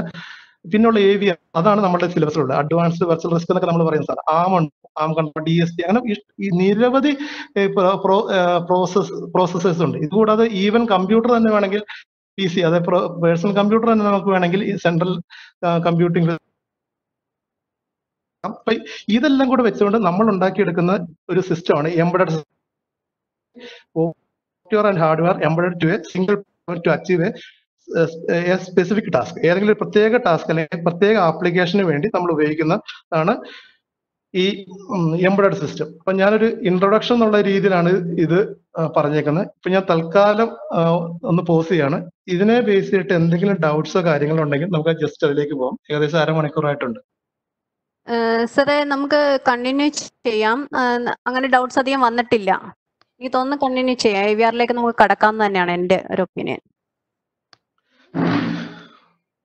ഓക്കെ നമുക്ക് സെക്കൻഡ് ഫേസിലേക്ക് കടക്കാം. സെക്കൻഡ് ഫേസിലേക്ക് കടക്ക് കടക്കുമ്പോൾ introduction to A V R എന്നുള്ളതാണ്. ഇപ്പൊ ഈ എ വി ആറിന്റെ ബേസിക്സ് ഒക്കെ സാറ് ഓൾറെഡി പറഞ്ഞിട്ടുണ്ട്. അപ്പൊ ഞാനത് എങ്കിലും ഒറ്റ വാചകത്തിൽ പറയാം. ഇത് ശരിക്ക് എം ഐ ടി അല്ലെങ്കിൽ സോറി നെതർലാൻഡ്സിലെ ഒരു യൂണിവേഴ്സിറ്റിയിൽ ആൽഫീഗിൾ ബൂഗൻ വെഗാഡ് വോളൻ എന്ന് പറഞ്ഞ രണ്ട് സ്റ്റുഡൻസ് ഡെവലപ്പ് ചെയ്തേക്കുന്ന ഒരു ആർക്കിടെക്ചർ ആണ് ഈ എ വി ആർ എന്ന് പറയുന്ന ആർക്കിടെക്ചർ ശരിക്കും അതിന്റെ ഫുൾ ഫോം ആയിട്ട് നമ്മൾ പറയുന്ന ആൽഫ് വെഗാർഡ് റിസ്ക് എന്ന് പറയും.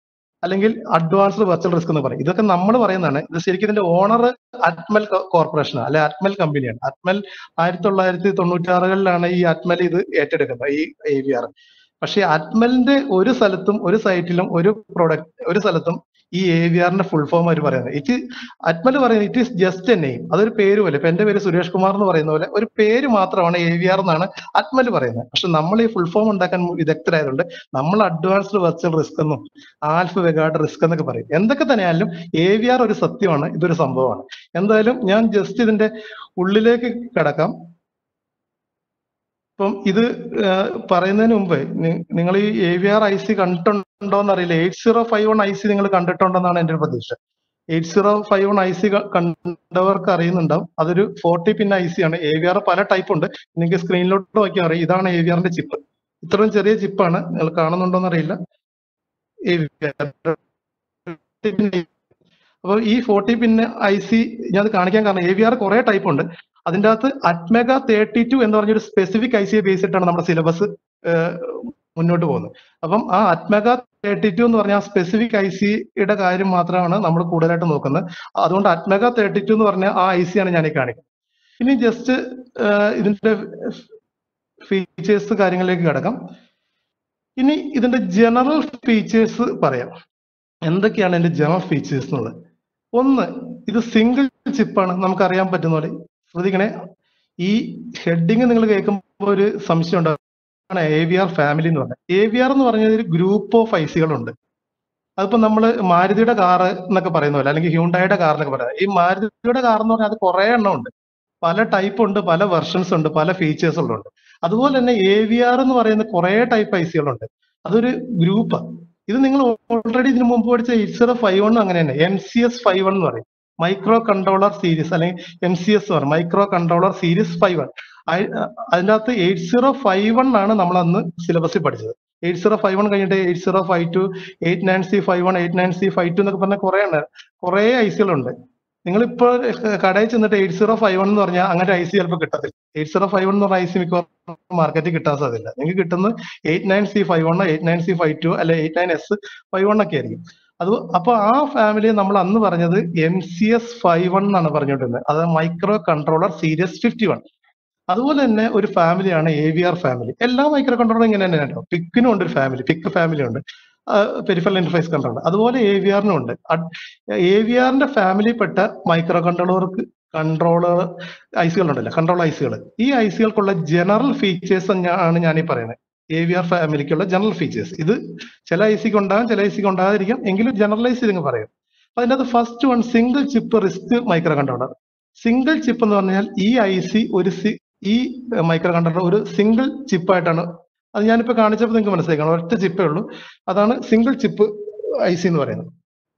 ഇനി second case Harvard architecture Harvard architecture ഞാനിപ്പോ പറഞ്ഞായിരുന്നു ഹവാർഡ് ആർക്കിടെക്ചർ എന്താണെന്നുള്ളത് ഹവാർഡ് ആർക്കിടെക്ചർ എന്ന് പറഞ്ഞാൽ both program and datas are stored in separate memory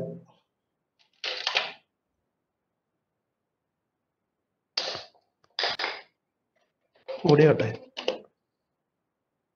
hello continue ചെയ്തോ കണ്ടിന്യൂ ചെയ്തോ? അല്ല ഇവിടെ സ്ക്രീനിൽ എറർ കാണിക്കുന്നുണ്ട്. അതുകൊണ്ട് ആ ഓക്കെ ഒന്നുകൂടെ പറയാം single chip RISC micro controller എന്താന്ന് മനസ്സിലായി? Single chip RISC micro controller എന്ന് പറഞ്ഞാൽ ഒറ്റ ഐ സി ആണ് കണ്ടിട്ടുണ്ട്. ഹവാർഡ് ആർക്കിടെക്ചർ എന്ന് പറഞ്ഞാൽ സാധാരണ മൈക്രോ കൺട്രോളർ ഞാൻ പറഞ്ഞല്ലോ രണ്ട് തരമുണ്ട്. പ്രോഗ്രാം മെമ്മറിയും ഡേറ്റ മെമ്മറിയും സെപ്പറേറ്റ് ആയതുകൊണ്ട് സെപ്പറേറ്റ് അല്ലാത്തതുണ്ട്. ഇത് സെപ്പറേറ്റ് ആണ് ഹവാർഡ് ആർക്കിടെക്ചർ എന്ന് പറയും. അപ്പൊ ഹവാർഡ് ആർക്കിടെക്ചർ ആണ് A V R family complete third one eight bit central processing unit ഇനി എന്താണ് എയ്റ്റ് സെൻട്രൽ പ്രോസസിംഗ് യൂണിറ്റ് എന്ന് പറഞ്ഞാൽ? ഇതിന്റെ അകത്തുള്ള സി പി യു അതായത് additional subtraction multiplication comparison shifting ഒക്കെ നടത്തുമല്ലോ ഈ ഷിഫ്റ്റിംഗും കമ്പാരിസണും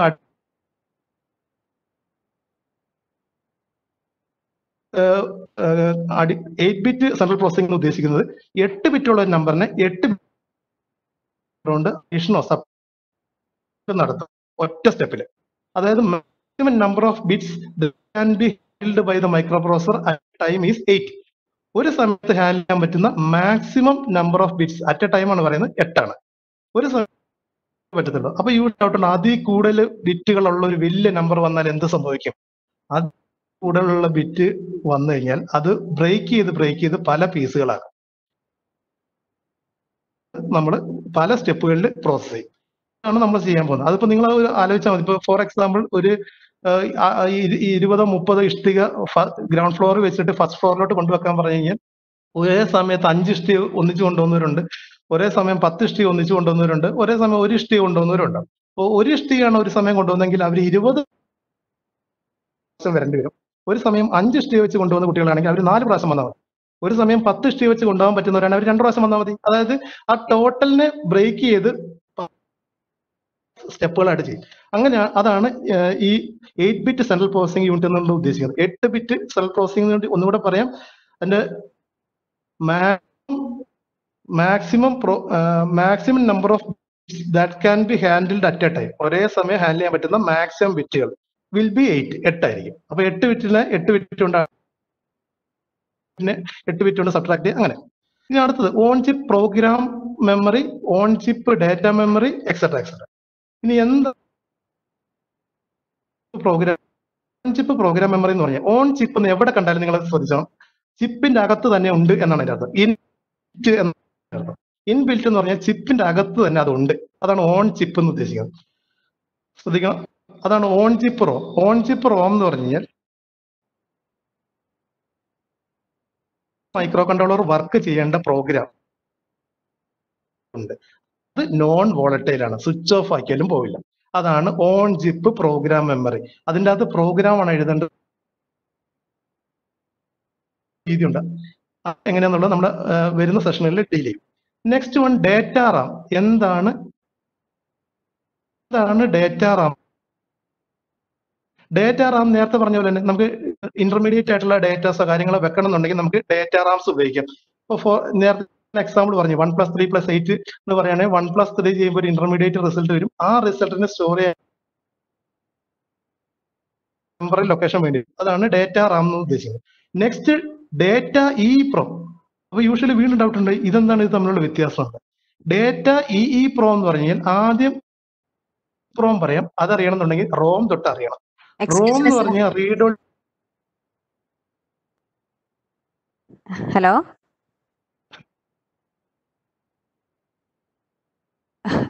hello Suresh sir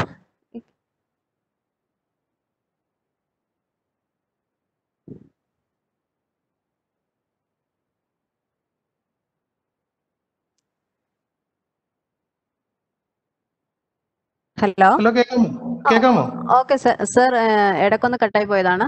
നമുക്ക് ടൈം ഒരു ടെൻ മിനിറ്റ്സും കൂടി ഉള്ളൂ. സാർ ഒന്ന് വൈൻഡ് അപ്പ് ചെയ്യാമെങ്കിൽ നമുക്ക് ക്വസ്റ്റ്യനിലേക്ക് കിടക്കാം. സാർ ഒരു അഞ്ച് മിനിറ്റും കൂടി എടുത്ത് വൈൻഡപ്പ് ചെയ്തോ?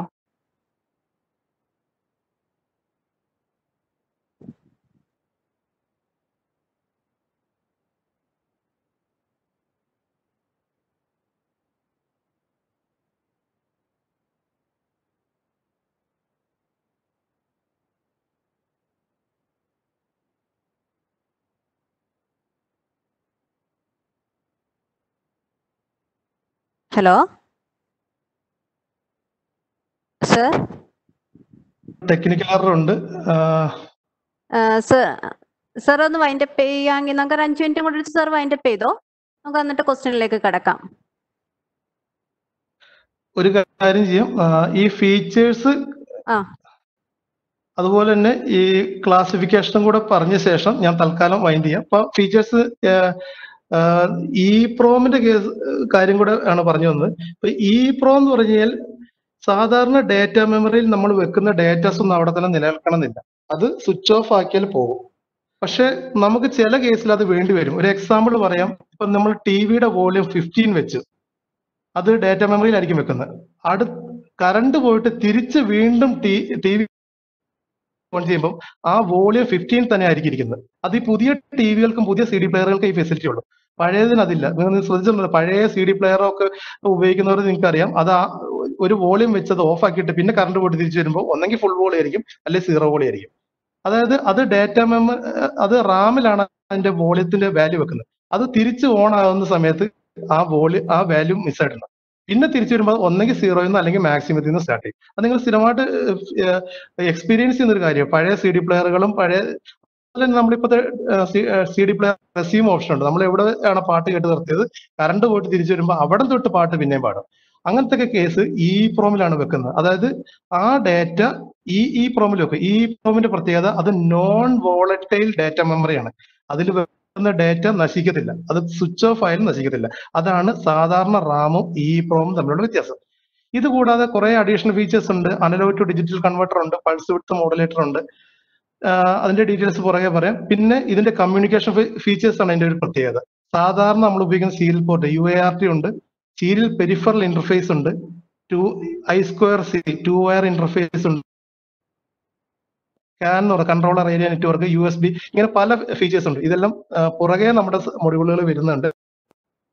നമുക്ക് ഡിസ്കസ് ചെയ്യാം. പിന്നെ ഒരു ഓൺ ചിപ്പ് ഓസിലേറ്റർ ഉണ്ട്. എയ്റ്റ് സീറോ ഫൈവ് വണ്ണിൽ നിന്ന് വ്യത്യസ്തമായിട്ട് ഇതിനകത്ത് ഒരു ഇൻബിൽറ്റ് ഓസിലേറ്റർ ഉണ്ട്. വേണമെങ്കിൽ ഉപയോഗിക്കാം. വേണ്ടെന്നുണ്ടെങ്കിൽ എക്സ്റ്റേണൽ ഉപയോഗിക്കാം. ഇനി എ വി ആർ ഫാമിലിയുടെ കൂടെ ഞാൻ തൽക്കാലം ഇത് വൈൻഡ് ചെയ്യാണ്. അല്ലെങ്കിൽ ഈ സെഷൻ തൽക്കാലം സ്റ്റോപ്പ് ചെയ്യാണ്. എ വി ആർ ഫാമിലിയിൽ പ്രധാനമായിട്ട് നാല് ടൈപ്പ് അംഗങ്ങളാണ് ഉള്ളത്. ഒന്ന് A V R class S start ചെയ്യുന്നതായിരിക്കും. അതിന്റെ പേര്. ആ പേരിൽ നിന്ന് നമുക്ക് പെട്ടെന്ന് നമുക്ക് മനസ്സിലാവും അത് ക്ലാസിക് സീരീസ് ആണ്. മെഗാ സീരീസ് അറ്റ് മെഗാ എന്ന് പറഞ്ഞ് തുടങ്ങുന്നതായിരിക്കും. ആ എക്സ് എഴുതിയേക്കുന്ന അവിടെ ഒരു നമ്പർ ഉണ്ടാവും. അത് ആ ഐ സിയുടെ സ്പെസിഫിക് നമ്പർ ആയിരിക്കും. കാണുന്ന ഈ നമ്പർ ഉണ്ടല്ലോ. Eighty nine zero S at mega എന്നുള്ളത്. അത് ആ സീരീസിനെയാണ് ഇൻഡിക്കേറ്റ് ചെയ്യുന്നത്. പിന്നെ ടൈനി സീരീസ് ഉണ്ട്. എ ടൈനി അത് ടൈനി സീരീസ് ഉണ്ട്. പിന്നെ സ്പെഷ്യൽ പർപ്പസ് കുറെ I സികളുണ്ട് eight zero eighty nine zero can one twenty eight eighty nine zero U S B one two eight seven eighty nine zero P W എന്നൊക്കെ പറഞ്ഞ special purpose I സികളുണ്ട് ഇതിന്റെ എല്ലാം കമ്പാരിസണും block ഡയഗ്രംസും കാര്യങ്ങളെല്ലാം നമുക്ക് അടുത്ത സെഷനിൽ handle ചെയ്യാമെന്ന് ഞാൻ പ്രതീക്ഷിക്കുന്നു. അപ്പൊ തൽക്കാലം ഇന്നത്തെ സെഷൻ വൈൻഡ് അപ്പ് ചെയ്യാണ്. ഇപ്പൊ ഇന്ന് നമ്മൾ പറഞ്ഞത് എങ്ങനെയാണ് എംബഡഡ് സിസ്റ്റത്തിലോട്ട് എത്തുന്നത്? അതിന് എന്തൊക്കെയാണ് അഡ്വാന്റേജ് അതിന്റെ അകത്ത് നമ്മൾ പ്രധാനമായിട്ട് ഉപയോഗിക്കുന്ന കമ്പോണൻസ് എന്തൊക്കെയാണ്? ഇതിന്റെ അകത്ത് ഉപയോഗിക്കുന്ന എ വി ആർ മൈക്രോ കൺട്രോളറിന്റെ ജനറൽ ഫീച്ചർ എന്താണ്? അതിന് എത്ര ഫാമിലിയിൽ പ്രധാനമായുള്ള അംഗങ്ങൾ ആരൊക്കെയാണ്? ഇത്തരം കാര്യങ്ങളാണ് നമ്മൾ ഇന്ന് ഡീൽ ചെയ്തിരിക്കുന്നത്. ഇനി നമുക്ക് ക്വസ്റ്റ്യനിലേക്ക് പോവാം. ഓക്കെ സർ പാനലിലേക്ക്. ഓക്കെ താങ്ക് യു സർ നമ്മൾക്ക് ക്വസ്റ്റ്യൻസ് കുറച്ച് വന്നിട്ടുണ്ട്. നമ്മുടെ ടൈം ലിമിറ്റ് അനുസരിച്ച് മാക്സിമം നമുക്ക്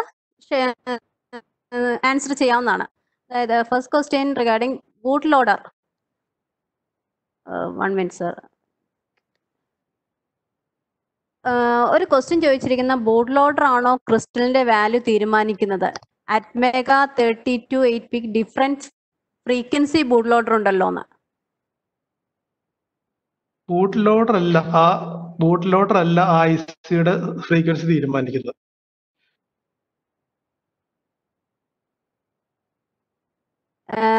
നെക്സ്റ്റ് ഒരു- മിനിറ്റ് ഈ ക്വസ്റ്റ്യൻ ചോദിച്ച ആൾ അവിടെ തന്നെ ഹോൾഡ് ആണ് കാരണം ഈ ടോപ്പിക് നമുക്ക് നെക്സ്റ്റ് ഇതിന്റെ പ്രോഗ്രാമിംഗ് സെഷനിൽ വരുന്നുണ്ട്. അന്ന് അപ്പൊ ഓക്കെ നമ്മൾ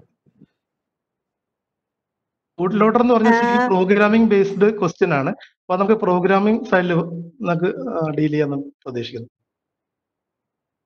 പിന്നെ ഈ പ്രോം പറഞ്ഞപ്പോൾ കുറച്ച് എന്താണ് വോയിസ് കട്ടായതുകൊണ്ടാന്ന് തോന്നുന്നു. അവർ രണ്ട് മൂന്ന് ക്വസ്റ്റ്യൻസ് റൈസ് ചെയ്തിട്ടുണ്ട്. ഈ ഈ പ്രോം നമുക്ക് എത്ര തവണ റൈറ്റ് ചെയ്യാം എന്നുള്ളതാണ് ഒരു ക്വസ്റ്റ്യൻ അത് സാധാരണ ഈ പ്രോം മാനുഫാക്ചറർ അവരുടെ സ്പെസിഫിക്കേഷൻ ഷീറ്റിൽ അത് കറക്റ്റ് ആയിട്ട് പറയുന്നുണ്ടാവും. ബൈ ഡിഫോൾട്ട് അത് വൺ ലാക്ക് ആണ്. ഒരു ലക്ഷം വരെ പറ്റും. പക്ഷെ ഇൻ പ്രാക്ടിക്കലി ഞാൻ പറയുവാണ് അത്രയും കിട്ടണം എന്ന് എനിക്ക് തോന്നുന്നില്ല. നമ്മൾ ഒരിക്കലും അത്രയൊന്നും ചെയ്യത്തില്ല. അതാണ് അതിന്റെ കാര്യം. നമ്മൾ സാധാരണ ഈ പ്രോം ഉപയോഗിക്കുമ്പോൾ നമ്മൾ മാനുവലി ചെയ്യുമ്പോൾ അത്രയൊന്നും ചെയ്യാറില്ല. പക്ഷെ മെഷീൻ അത് ചെയ്യുമ്പോൾ കുറെ പ്രാവശ്യം ചെയ്യും. അത് പറയാൻ കാരണം ഞാനിപ്പോ ഒരു എക്സാമ്പിൾ പറഞ്ഞായിരുന്നു. ടി വിയിലൊക്കെ വോളിയം അങ്ങനത്തെ സെറ്റിങ്സും കാര്യങ്ങളല്ല. ഇതിപ്പോ ഞാൻ ഇതിന്റെ പ്രോഗ്രാമിംഗ് ഫേസ് പറയാൻ വരുമ്പോൾ ഞാൻ തന്നെയാണ് ഹാൻഡിലിങ് ഞാനത് ലൈവായിട്ട് കാണിക്കാം. എങ്ങനെയാണ് ഈ പ്രോം പല പ്രാവശ്യങ്ങളും നമ്മൾ ഉപയോഗിക്കേണ്ടി വരുന്നത്. അതിനൊരു ഏറ്റവും വലിയ ഉദാഹരണം എന്ന് പറയുന്നത് നമ്മൾ ഏതെങ്കിലും ഒരു ഡിവൈസ് ഉണ്ടാക്കിയ ശേഷം ആ ഡിവൈസ് ഓഫ് ചെയ്തിട്ട് വീണ്ടും ഓൺ ചെയ്യുമ്പോൾ അതിന്റെ എന്തെങ്കിലും ഫീച്ചർ സസ്റ്റെയിൻ ചെയ്യണമെന്നുണ്ടെങ്കിൽ അത് വോളിയം ആയിരിക്കും അല്ലെങ്കിൽ വേറെ എന്തെങ്കിലും ഫീച്ചർ ആയിരിക്കും. ഫോർ എക്സാമ്പിൾ പാസ്വേഡ് പോലത്തെ കാര്യങ്ങൾ. അത് നമ്മൾ ഒരിക്കൽ സെറ്റ് ചെയ്ത് കഴിഞ്ഞാൽ സ്വിച്ച് ഓഫ് ആക്കിയാലും പാസ്വേഡ് പോകാൻ പാടില്ല. അത് അവിടെ തന്നെ കിടക്കണം. അപ്പൊ അങ്ങനത്തെ കാര്യങ്ങൾ ചിലപ്പോൾ പ്രോഗ്രാമിൽ തന്നെ നമ്മൾ വീണ്ടും റീറൈറ്റ് ചെയ്തുകൊണ്ടിരിക്കും. അപ്പൊ അങ്ങനെ റീറൈറ്റ് ചെയ്യുമ്പോൾ അല്ലാതെ സാധാരണ നമ്മൾ റൈറ്റ് ചെയ്യുമ്പോൾ ഇത്ര ഒരു ലക്ഷം പ്രാവശ്യത്തിലോട്ടൊന്നും പോകാറില്ല. പക്ഷെ എങ്കിലും on and average one lakh വരെ കിട്ടുന്നതാണ് പറയുന്നത്. അവരുടെ സ്പെസിഫിക്കേഷൻ അനുസരിച്ച്. നെക്സ്റ്റ് റിക്വസ്റ്റ് ആണ് രണ്ട് മൂന്ന്. എയ്റ്റ് ബിറ്റ് സി പി ഒന്നുകൂടി ഒന്ന് എക്സ്പ്ലെയിൻ ചെയ്യാമോ എന്ന് ചോദിക്കുന്നുണ്ട്. അതേപോലെ ഡാറ്റ റാം. ഡാറ്റ റാം എന്ന് പറഞ്ഞു കഴിഞ്ഞാൽ താൽക്കാലികമായിട്ട് നമുക്കൊരു ഡാറ്റ വെക്കണം എന്നുണ്ടെങ്കിൽ നമ്മൾ അത് എവിടെ വെക്കും? അതിന് നമുക്കൊരു വഴി ഉണ്ടെങ്കിലേ പറ്റത്തുള്ളൂ. ഇപ്പോൾ ഫോർ എക്സ് എക്സാമ്പിൾ ഞാനന്ന് പറഞ്ഞത് one plus three plus five plus two എന്നാണ് നമ്മൾ ചെയ്യുന്നതെങ്കിൽ സാധാരണ എല്ലാ മൈക്രോ പ്രോസസറിലും മൈക്രോ കൺട്രോളറിലും മാക്സിമം രണ്ട് ഡിജിറ്റ് അത് അറ്റ് എ ടൈം ആഡ് ചെയ്യത്തുള്ളൂ. For example one plus three എന്ന് പറഞ്ഞാൽ one plus three plus four ആണെങ്കിൽ വൺ പ്ലസ് ത്രീ ആദ്യം അത് ചെയ്യും. അപ്പൊ ആ സമയത്ത് ആ മൂന്നാമത്തെ ഡിജിറ്റ് അല്ലെങ്കിൽ മൂന്നാമത്തെ നമ്പർ വേറെ എവിടെയെങ്കിലും ടെമ്പററി ആയിട്ട് വെച്ചിട്ടുണ്ടാവും അതിനുശേഷം ഇത് ആഡ് ചെയ്ത ശേഷം ആ റിസൾട്ട് നമുക്ക് ടെമ്പററി ആയിട്ട് വെക്കണം. അങ്ങനെ നമുക്ക് ടെമ്പററി ആയിട്ട് വെക്കാൻ സ്ഥലം വേണം. ഇതിന് നമ്മൾ സാധാരണ ഡേറ്റ മെമ്മറി എന്നാണ് പറയാറ്. ഇത് ഇപ്പോഴാണ് ഇത് ഡേറ്റ മെമ്മറി രജിസ്റ്റർ എന്നൊക്കെ ഉള്ള പേരിൽ വന്നത് ആദ്യ കാലങ്ങളിൽ ഇതൊക്കെ ഓരോ പേരിലാണ് അറിയപ്പെട്ടിരുന്നത്. അത് ഞാൻ ഈ അടുത്ത സെഷനിൽ പറയാം. കാരണം അന്ന് അതിന് A register B register C register എന്നൊക്കെ പേരായിരുന്നു. പിന്നീട് കുറച്ചും കൂടെ ഇതിന്റെ എണ്ണം കൂടിയപ്പോൾ എണ്ണം കൂടിയപ്പോൾ നമ്മളത് പേരിൽ നിന്ന് മാറി നമ്പർ ആക്കി. R one R two R three എന്നൊക്കെ ആക്കി. വളരെയധികം കൂടിയപ്പോൾ നമ്മൾ അതിന് പേരൊന്നും കൊടുക്കാറില്ല. വൺ ടു ത്രീ ഫോർ എന്ന നമ്പറാണ് കൊടുക്കാറ്. അപ്പൊ എണ്ണം കൂടിയതുകൊണ്ടാണ് ഇതിന് പേര് കൊടു കുറഞ്ഞതുകൊണ്ടാണ് പേര് കൊടുക്കാൻ പറ്റുന്നത്. എന്തായാലും ഡാറ്റ മെമ്മറി എന്ന് പറഞ്ഞു കഴിഞ്ഞാൽ സാധാരണ നമ്മൾ പറയുമ്പോൾ ഒരു പ്രോസസ്സ് നടക്കുന്ന സമയത്ത് ടെമ്പററി ആയിട്ട് ഡേറ്റാസ് അല്ലെങ്കിൽ ടെമ്പററി ആയിട്ട് വരുന്ന വാല്യൂസ് താൽക്കാലിക ആവശ്യത്തിനായിട്ട് ആവശ്യത്തിന് വേണ്ടി സ്റ്റോർ ചെയ്ത് വെക്കാനുള്ള സ്ഥലം. അതാണ് റാം എന്ന് പറഞ്ഞത്. നിങ്ങൾക്ക് കമ്പ്യൂട്ടറിന്റെ റാമിനെ കുറിച്ച് അറിയായിരിക്കും. അതുപോലെ മൊബൈലിന്റെ റാമിനെ കുറിച്ച് അറിയായിരിക്കും. അതേപോലെ തന്നെയാണ് ഇവിടെ. താൽക്കാലികമായിട്ട് നമ്മൾ ഡേറ്റാസ് വെക്കാനുള്ള ഒരു storage sir eight bit C P one more eight bit C P എന്ന് പറഞ്ഞു കഴിഞ്ഞാൽ ഇപ്പൊ ഫോർ എക്സാമ്പിൾ നിങ്ങൾക്ക് എന്റെ ഈ വൈറ്റ് ബോർഡ് കാണാമോ? ഈ white board കാണാമോ? Okay okay okay. ആണ്. വൈറ്റ് ബോർഡ് ഞാൻ വേണേ കുറച്ചുകൂടി ഈ വൈറ്റ് ബോർഡ് കാണാം ഇപ്പൊ ഫോർ എക്സാമ്പിൾ ശ്രദ്ധിച്ചോണേ. എട്ട് പ്ലസ് ആറ് നാല്. കാണാമോ? എട്ട് പ്ലസ് നാല് എഴുതിയിരിക്കുന്നത് തോന്നുന്നു. ഈ എട്ട് പ്ലസ് നാല് നിങ്ങൾ ഒറ്റ സ്ട്രെച്ചിൽ പറയും. ഇങ്ങനെ എഴുതും. ഈസി ആയിട്ട് എഴുതും. ഓക്കെ ആണല്ലോ. ഇനി ഈ സാധനം നിങ്ങൾ വലിയൊരു നമ്പർ എന്ന് വിചാരിച്ചു ഇത് നിങ്ങൾക്ക് ഒറ്റ ഫോർ എക്സാമ്പിൾ നാനൂറ്റി അറുപത്തി എട്ട് പ്ലസ് ഇരുന്നൂറ്റി നാപ്പത്തി അഞ്ച് ഇത് നിങ്ങൾക്ക് ഒറ്റ സ്റ്റെപ്പ് ചെയ്യാൻ പറ്റത്തില്ല. എന്തുകൊണ്ട് പറ്റത്തില്ല? നിങ്ങൾക്ക് ഇത്ര വലിയ നമ്പർ കണക്കായിട്ട് ചിലപ്പോൾ ചെയ്യാൻ പറ്റണമെന്നില്ല. അപ്പൊ നിങ്ങൾ എന്ത് ചെയ്യും? ഇത് സ്പ്ലിറ്റ് ചെയ്യും. ഇങ്ങനെ സ്പ്ലിറ്റ് ചെയ്യും. എട്ട് പ്ലസ് അഞ്ച് ഇവിടെ ചെയ്യും. എട്ട് പ്ലസ് അഞ്ച് ഇവിടെ ചെയ്യും. ബാലൻസ് ഒന്ന് അത് ഇവിടെ ഇരിക്കും. പതിനൊന്ന് ബാലൻസ് ഒന്ന് ഇവിടെ ഇരിക്കും. ഇങ്ങനെ. സംഭവം മനസ്സിലായോ? മനസ്സിലായ നിങ്ങൾക്ക് കാണാൻ പറ്റുന്നുണ്ട്? അതായത് നിങ്ങളൊരു വലിയ നമ്പർ വന്നു കഴിഞ്ഞാൽ സ്പ്ലിറ്റ് ചെയ്ത് അത് ഡിഫറെന്റ് സ്റ്റെപ്പ് ചെയ്യും. ഇതേ പ്രശ്നം സി പി യുവിനും ഉണ്ട്. അറ്റ് എ ടൈം അതിന് ഒന്നിച്ച് ഹാൻഡിൽ ചെയ്യാൻ പറ്റുന്ന എട്ട് ബിറ്റ് എട്ട് ബിറ്റ് മീൻസ് എട്ട് ബിറ്റ് ഉള്ള ഒരു നമ്പറിന് എട്ട് ബിറ്റ് ഉള്ള നമ്പർ എന്ന് പറയുമ്പോൾ നിങ്ങൾക്ക് പെട്ടെന്ന് ബൈനറി നമ്പറിനെ കുറിച്ച് ഐഡിയ കിട്ടില്ല. നിങ്ങൾ ഡിജിറ്റൽ ഇലക്ട്രോണിക്സ് ഒന്നും കൂടെ പഠിക്കണം. ഡിജിറ്റൽ ഇലക്ട്രോണിക്സിൽ നമ്പർ സിസ്റ്റം എന്ന് പറയുന്ന ടോപ്പിക് ഉണ്ട്. നമ്പർ സിസ്റ്റത്തിനകത്ത് ആദ്യം വരുന്നതാണ് ബൈനറി നമ്പേഴ്സ് ബൈനറി നമ്പേഴ്സിൽ എട്ട് ബിറ്റ് വെച്ച് റെപ്രസെന്റ് ചെയ്യാൻ പറ്റുന്ന മാക്സിമം നമ്പർ എന്ന് പറഞ്ഞാൽ ഇരുന്നൂറ്റി അൻപത്തഞ്ചാണ് ഇക്വലഞ്ച് ഡെസിമൽ പറയുന്നത്. ഇരുന്നൂറ്റി അൻപത്തഞ്ച് അപ്പൊ ഇരുന്നൂറ്റി അൻപത്തഞ്ച് പ്ലസ് ഇരുന്നൂറ്റി അൻപത്തഞ്ചാണ് മാക്സിമം വരുന്ന ഏറ്റവും വലിയ രണ്ട് എട്ട് ബിറ്റ് നമ്പർ അഡീഷൻ അതായത് ഇപ്പോൾ ഒരു രണ്ട് നമ്പർ ആഡ് ചെയ്യാൻ പറയുകയാണെങ്കിൽ ഫോർ എക്സാമ്പിൾ എട്ട് പ്ലസ് നാല്. ഇത് ഒറ്റ സ്റ്റെപ്പിൽ തന്നെ മൈക്രോ പ്രോസസർ അല്ലെങ്കിൽ എ വി ആർ ചെയ്യും. നേരെ മറിച്ച് ഒരു അഞ്ഞൂറ് പ്ലസ് നാനൂറ്. അത് ഒറ്റ സ്റ്റെപ്പ് ചെയ്യത്തില്ല കാരണം അതിന്റെ നമ്പർ ഓഫ് ബിറ്റ്സ് എട്ട് ബിറ്റിനെക്കാളും കൂടുതലാണ്. എട്ട് ബിറ്റിനെക്കാളും കൂടുതലാകുമ്പോൾ എന്ത് ചെയ്ത്? ഇതുപോലെ സ്പ്ലിറ്റ് ചെയ്ത് സ്പ്ലിറ്റ് ചെയ്ത് തന്നെ ചെയ്യാൻ പറ്റുള്ളൂ എൽ എസ് ബി സൈഡിലുള്ള എട്ട് bit plus L S B സൈഡിലുള്ള എട്ട് ബിറ്റ് അത് ചെയ്ത ശേഷം എം എസ് ബി സൈഡിലുള്ള എട്ട് bit plus M S B സൈഡിലുള്ള എട്ട് ബിറ്റ് ഒന്നും കൂടെ പറയാം എട്ട് bit micro processor means maximum number of bits that can be handled by the micro processor at a time is eight എട്ടാണ് ഒരേ സമയം അതിന് ഹാൻഡിൽ ചെയ്യാൻ പറ്റുന്ന മാക്സിമം ബിറ്റ് അതാ ഞാൻ ഇഷ്ടികയുടെ എക്സാമ്പിൾ പറഞ്ഞത്. നിങ്ങൾ ഈ വീഡിയോ ഇതിന് ശേഷം റീവൈൻഡ് ചെയ്ത് നോക്കുമ്പോൾ ഇഷ്ടികയുടെ ഞാനൊരു എക്സാമ്പിൾ പറഞ്ഞായിരുന്നു. അതൊന്ന് നോക്കിയാൽ മതി. മനസ്സിലായില്ലെങ്കിൽ ഒന്നും കൂടി പറയാം. വീണ്ടും ഇല്ല ഇല്ല സാർ ഇല്ല സാർ അവർക്ക് വീഡിയോ കിട്ടുന്നതുകൊണ്ട് അവർ റിവൈൻഡ് ചെയ്ത് കേട്ടോളൂ. ഇടയ്ക്കൊന്ന് കട്ടായി പോയായിരുന്നു വോയിസ് അതുകൊണ്ടാണ് ഞാൻ ആ സ്പെസിഫിക് അങ്ങനെയുള്ള പോർഷൻസിലാണ് ഞാൻ സ്പെസിഫിക് ആയിട്ട് എടുത്ത് ചോദിച്ചത്. ഓക്കെ ബാക്കിയുള്ള ബാക്കിയുള്ള പോർഷൻ ക്വസ്റ്റ്യൻസ് എന്ന് വെച്ചാൽ അവർക്ക് വീഡിയോ ഒന്നും കൂടി ലൈവ് സ്ട്രീം ഓൾറെഡി ഉണ്ട്. യൂട്യൂബിൽ അവൈലബിൾ ആണ് ചാനലിൽ അത് റിവൈൻഡ് ചെയ്യുവാണെങ്കിൽ ആൻസർ ചെയ്യാവുന്നതേ ഉള്ളൂ എന്ന് തോന്നുന്നു. നമുക്ക് അതുപോലെ ഈ സെഷൻ ഇതിനെ ബേസ് ചെയ്തിട്ട് തന്നെ ആയിരിക്കും നമ്മുടെ അടുത്ത സെഷൻ ഉള്ളത്. അപ്പൊ ഈ സെഷൻ കണ്ടവരും കാണാത്തവരും ഈ സെഷൻ നന്നായിട്ട് കാണും. ഇതിന്റെ ഒരു ബേസിക്സ് ബേസിക് ഉണ്ടെങ്കിൽ മാത്രമേ നമുക്ക് നെക്സ്റ്റ് സെഷനിൽ അത് കുറച്ചുകൂടെ സ്പീഡിൽ ഇതിനേക്കാളും സ്പീഡിൽ പോകാൻ പറ്റുള്ളൂ. അതും കൂടെ ജസ്റ്റ് ഒന്ന് ഞാൻ റിമൈൻഡ് ചെയ്യണം okay sir thank you for this wonderful section നമുക്ക് വൈൻഡ് അപ്പ് ചെയ്യുവാണ്. എല്ലാ പാർട്ടിസിപ്പൻസിനും thanks thanks a lot for thank you thank you thank you thank you panelist thank you students